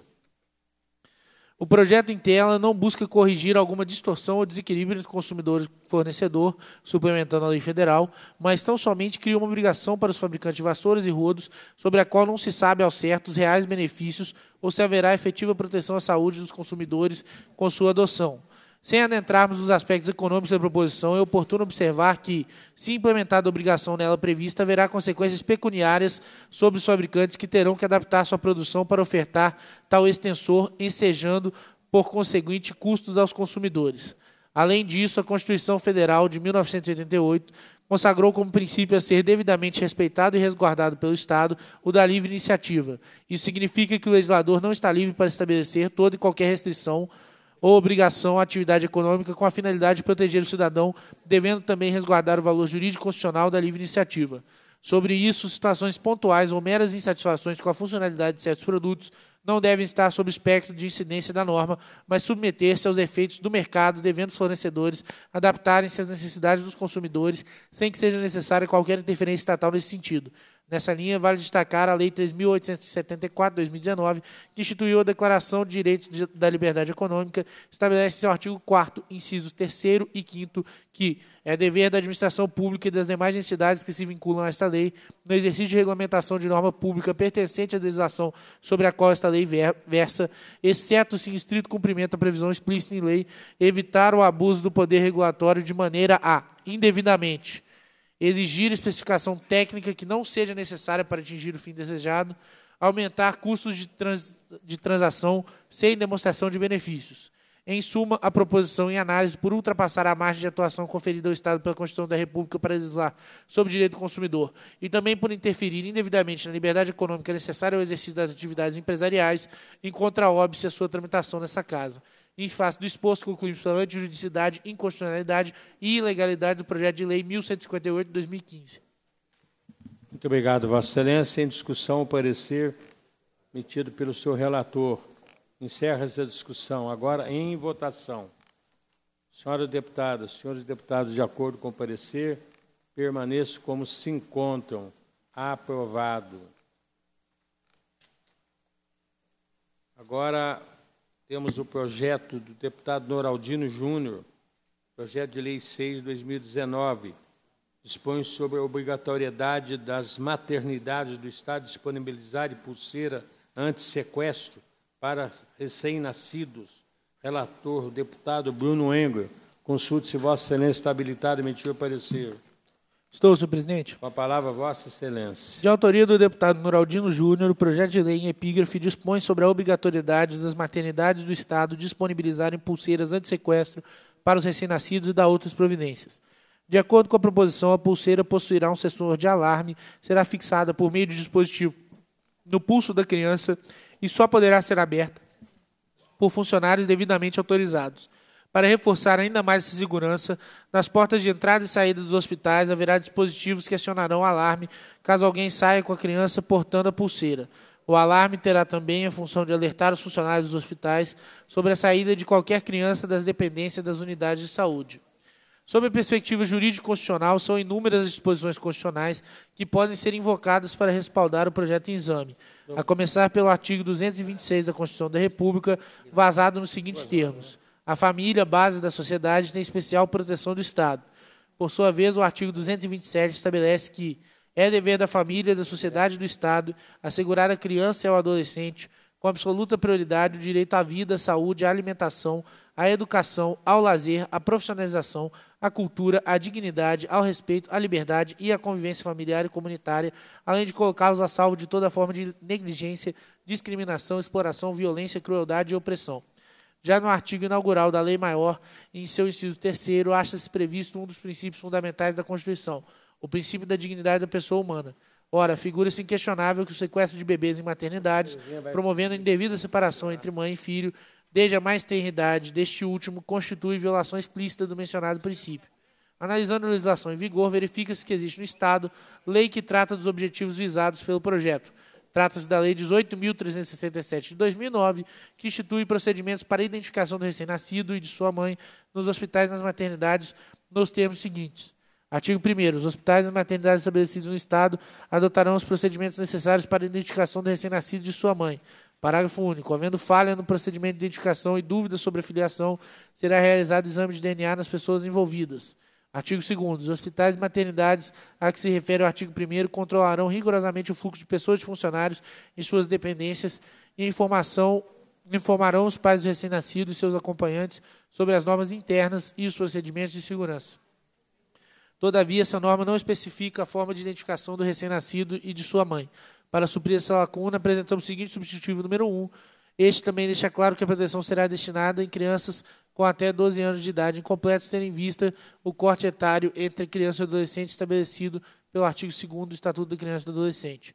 Em face do exposto, concluímos pela juridicidade, constitucionalidade e legalidade do projeto de lei 6 de 2019, na forma do substitutivo número 1 a seguir apresentado.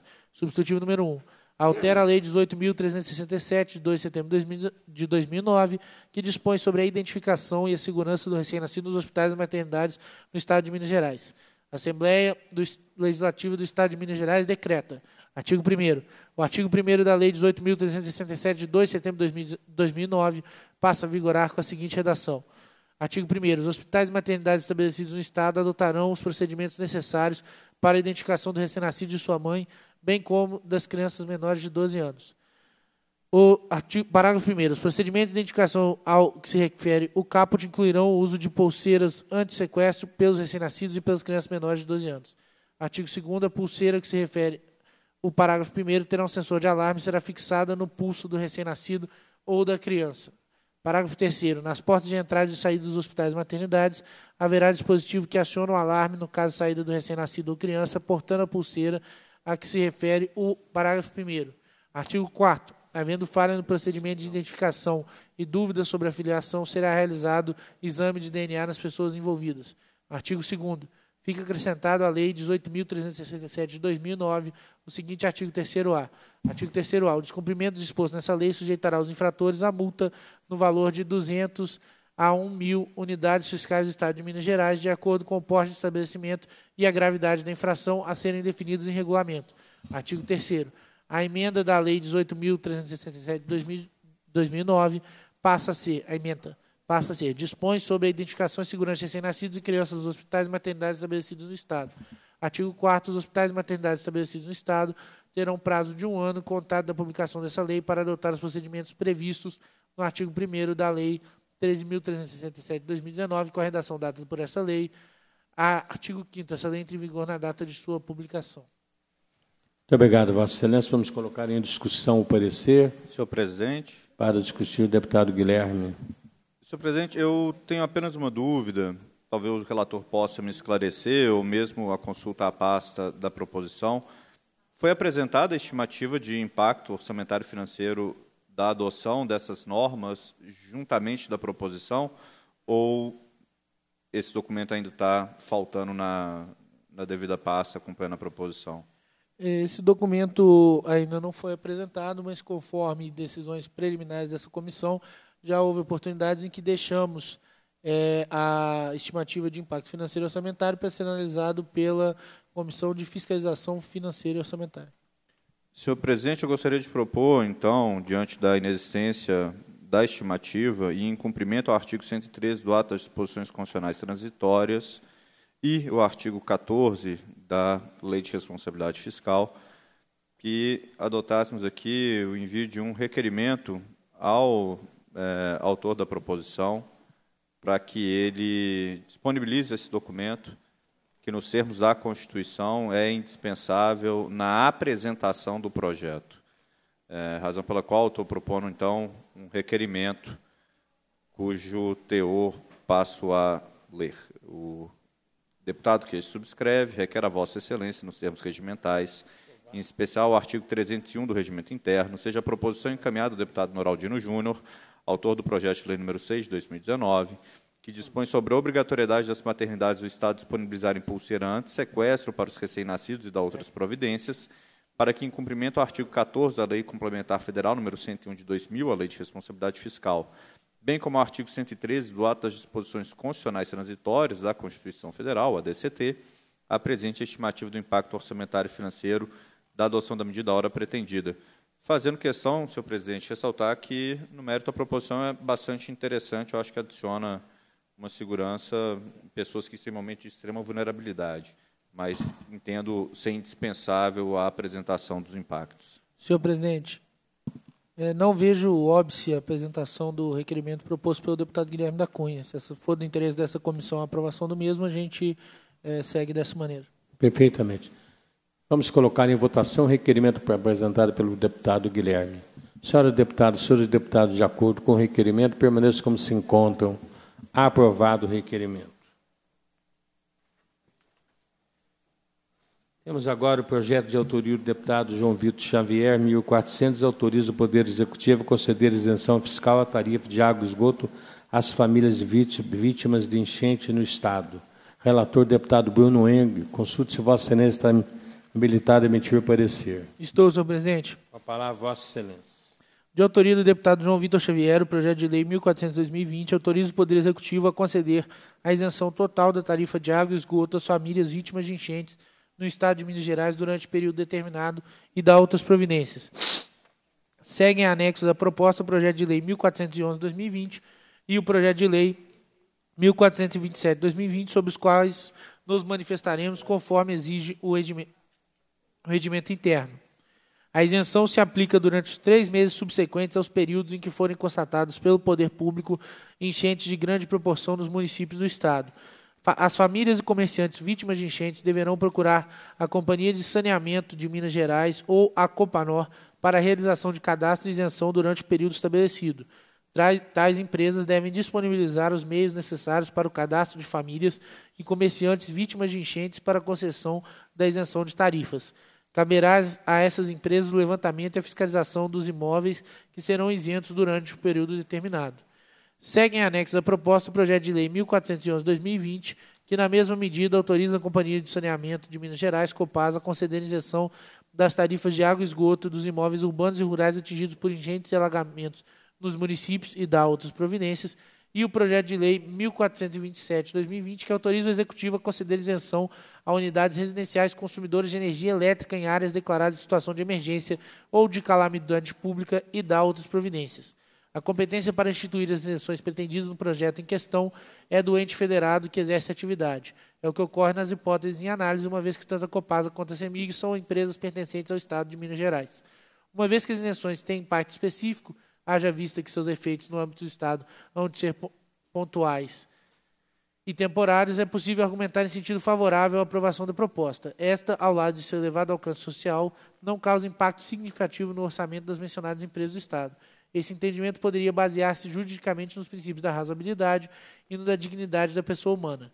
Com o objetivo de compatibilizar a proposta em apreço com aquela veiculada no anexo, o projeto de lei 1427, relativo à CEMIG, e aperfeiçoar a redação do texto em análise, segue abaixo a proposta de substitutivo. Ante o exposto, concluímos pela juridicidade, constitucionalidade e legalidade do projeto de lei 1400-2020 na forma do substitutivo número 1, a seguir redigido. Substitutivo número 1. Dispõe sobre a concessão por período determinado da isenção total da tarifa de água, esgoto e de energia elétrica às famílias e aos comerciantes vítimas de enchente no Estado. A Assembleia Legislativa do Estado de Minas Gerais decreta: a Companhia de Saneamento de Minas Gerais, Copasa, e a Companhia de Serviço de Saneamento Integrado do Norte e Nordeste de Minas Gerais, Copanor, poderão, mediante ato do governador do Estado, conceder isenção total das tarifas de água e esgoto às famílias e aos comerciantes vítimas de enchentes do Estado. Artigo 2 As centrais elétricas de Minas Gerais, CEMIG, poderá, mediante ato do governo do Estado, conceder isenção total da tarifa de energia elétrica às famílias e aos comerciantes vítimas de enchentes do Estado. Artigo 3 A isenção prevista nos artigos 1 e 2 aplica-se nos três meses subsequentes ao período em que forem constatadas pelo poder público enchentes de grande proporção nos municípios do Estado. Artigo 4 As famílias e os comerciantes vítimas de enchentes deverão procurar as empresas referidas nos artigos 1 e 2 para a realização do cadastro e a obtenção da isenção que trata essa lei no período estabelecido. Parágrafo único. Caberá às empresas referidas nos artigos 1 e 2 realizar a fiscalização dos imóveis isentos na forma dessa lei no período determinado. Artigo 5 As despesas decorrentes da aplicação dessa lei correrão por conta de dotações próprias consignadas no orçamento vigente, suplementadas, se necessário. Artigo 6 Essa lei entra em vigor na data de sua publicação. Em discussão ou parecer. Senhor presidente, eu teria alguns pontos aqui para discutir, especialmente nos conceitos de família e de comerciante, mas, dado o adiantado da hora e os compromissos que os membros da comissão possuem, eu solicito o adiamento da discussão para que a gente possa retomá-la depois com mais calma. É regimental. Temos agora o projeto 1187, deputado professor Wendel Mesquita, autoriza o Poder Executivo a criar o Banco Estadual de Hortes e Próteses e Meios Auxiliares de Locomoção. Relator, deputado Bruno Enho, consulte se Vossa Excelência está habilitado a emitir o parecer. Estou, senhor presidente. Com a palavra, Vossa Excelência. De autoria do deputado professor Wendel Mesquita, o projeto de lei em epígrafe autoriza o Poder Executivo a criar o Banco Estadual de Órteses, Próteses e Meio Auxiliares de Locomoção para atendimento às pessoas com deficiência física e da outras providências. O projeto de lei em comento autoriza o Poder Executivo a criar o Banco Estadual de Órteses, Próteses e Meio Auxiliares de Locomoção destinado a atender pessoas com deficiência física. Esses dispositivos são, em geral, destinados a pessoas com deficiência física, mas podem ser utilizados também por pessoas com deficiência auditiva ou visual. As, a classificação desses dispositivos e parâmetros para o seu pagamento estão indicados na tabela de procedimentos, medicamentos e OPM do Sistema Único de Saúde SUS. O banco em comento poderá, nos termos do artigo 3 da proposta, receber doações de OPMs novos ou usados de pessoas físicas ou jurídicas, bem como firmar ajuste com órgãos e entidades governamentais para o cumprimento de sua finalidade. No que se refere à competência para legislar, cabe-nos mencionar que o artigo 24 da Constituição da República estabelece que compete à União, aos Estados e ao Distrito Federal legislar concorrentemente sobre a proteção e integração social das pessoas com deficiência. Com semelhante teor, o artigo 10 da Carta Mineira, na linha O do inciso 15, dispõe que compete ao Estado legislar privativamente sobre as matérias de sua competência e, concorrentemente com a União, sobre o apoio e assistência à pessoa com deficiência e sua integração social. O artigo 24, inciso 12 da Carta Magna, relaciona a proteção e defesa da saúde como assunto de competência concorrente entre a União e o Estado, cabendo à primeira elaboração de norma geral e ao segundo suplementar a legislação federal para atender às suas peculiaridades. Nesse sentido, deve salientar também que a Carta Política Mineira, no caput de seu artigo 186, determina que a saúde é direito de todos e a assistência a ela é dever do Estado, assegurada mediante políticas sociais e econômicas que visem a eliminação do risco de doenças e de outros agravos ao acesso universal e igualitário às ações e aos serviços para sua promoção, proteção e recuperação. Além disso, o artigo 187, também da Constituição Estadual, estabelece que as ações e serviços de saúde são de relevância pública e cabem ao poder público sua regulamentação, fiscalização e controle na forma da lei. Portanto, sob o prisma jurídico constitucional, não, não vislumbramos óbice a aprovação do projeto. Todavia, a proposição precisa ser aprimorada para se adequar à técnica legislativa, razão pela qual apresentamos ao final dessa peça o substitutivo número 1. Em face do exposto, concluímos pela constitucionalidade, legalidade e juridicidade do projeto de lei 1187-2019, na forma do substitutivo número 1 a seguir apresentado. Dispõe sobre o Banco Estadual de órteses, próteses e meios auxiliares de locomoção para atendimento de pessoas com deficiência ou mobilidade reduzida. A Assembleia Legislativa do Estado de Minas Gerais decreta o Poder Executivo, em consonância com os programas de saúde do Estado, poderá criar o Banco Estadual de órteses, próteses e meios auxiliares de locomoção destinados a atender pessoas com deficiência ou mobilidade reduzida. Parágrafo único. Para os fins dessa lei, consideram-se meios auxiliares de locomoção os aparelhos indispensáveis à independência e à inclusão social do usuário. Artigo 2 Para fazer uso de órteses, próteses ou meios auxiliares de locomoção do banco que traz essa lei, a pessoa com deficiência ou mobilidade reduzida deverá comprovar deficiência irreversível, incapacidade transitória e renda familiar per capita inferior a um salário mínimo. Parágrafo único. A indicação e o prazo de uso de órteses, próteses ou meios auxiliares de locomoção do banco de que trata essa lei serão determinados por profissional habilitado, nos termos estabelecidos em regulamento, podendo o prazo ser prorrogado em caso de comprovada necessidade. Artigo 3 o banco de que trata essa lei poderá receber, na forma de regulamento, doação de órteses, próteses e meios auxiliares de locomoção novos e usados de pessoas físicas e jurídicas, bem como firmar ajustes com órgãos e entidades públicos visando a obter recursos e equipamentos para o cumprimento de finalidade. Artigo 4 será em vigor na data de sua publicação. Muito obrigado, Vossa Excelência. Vamos colocar em, em discussão o parecer. Senhor presidente, tal qual no projeto anterior, eu solicito o adiamento da discussão. É, em votação o requerimento, senhoras e senhores deputados, senhores deputados, de acordo, permaneçam como se encontram, encontram aprovado. Vamos passar à segunda fase, votação de proposições que dispensam apreciação do plenário. Vem a mesa o requerimento desse presidente para que sejam os projetos sejam retirados da segunda fase neste momento. Vamos colocar em votação. Senhora deputada, senhores deputados, de acordo com o requerimento, permaneçam como se encontram. Assim sendo cumprida a finalidade da reunião, agradecemos a presença da senhora deputada e deputados e convocamos todos os membros dessa reunião, dessa comissão, para a próxima reunião ordinária. Encerramos os nossos trabalhos. Boa tarde, muito obrigado.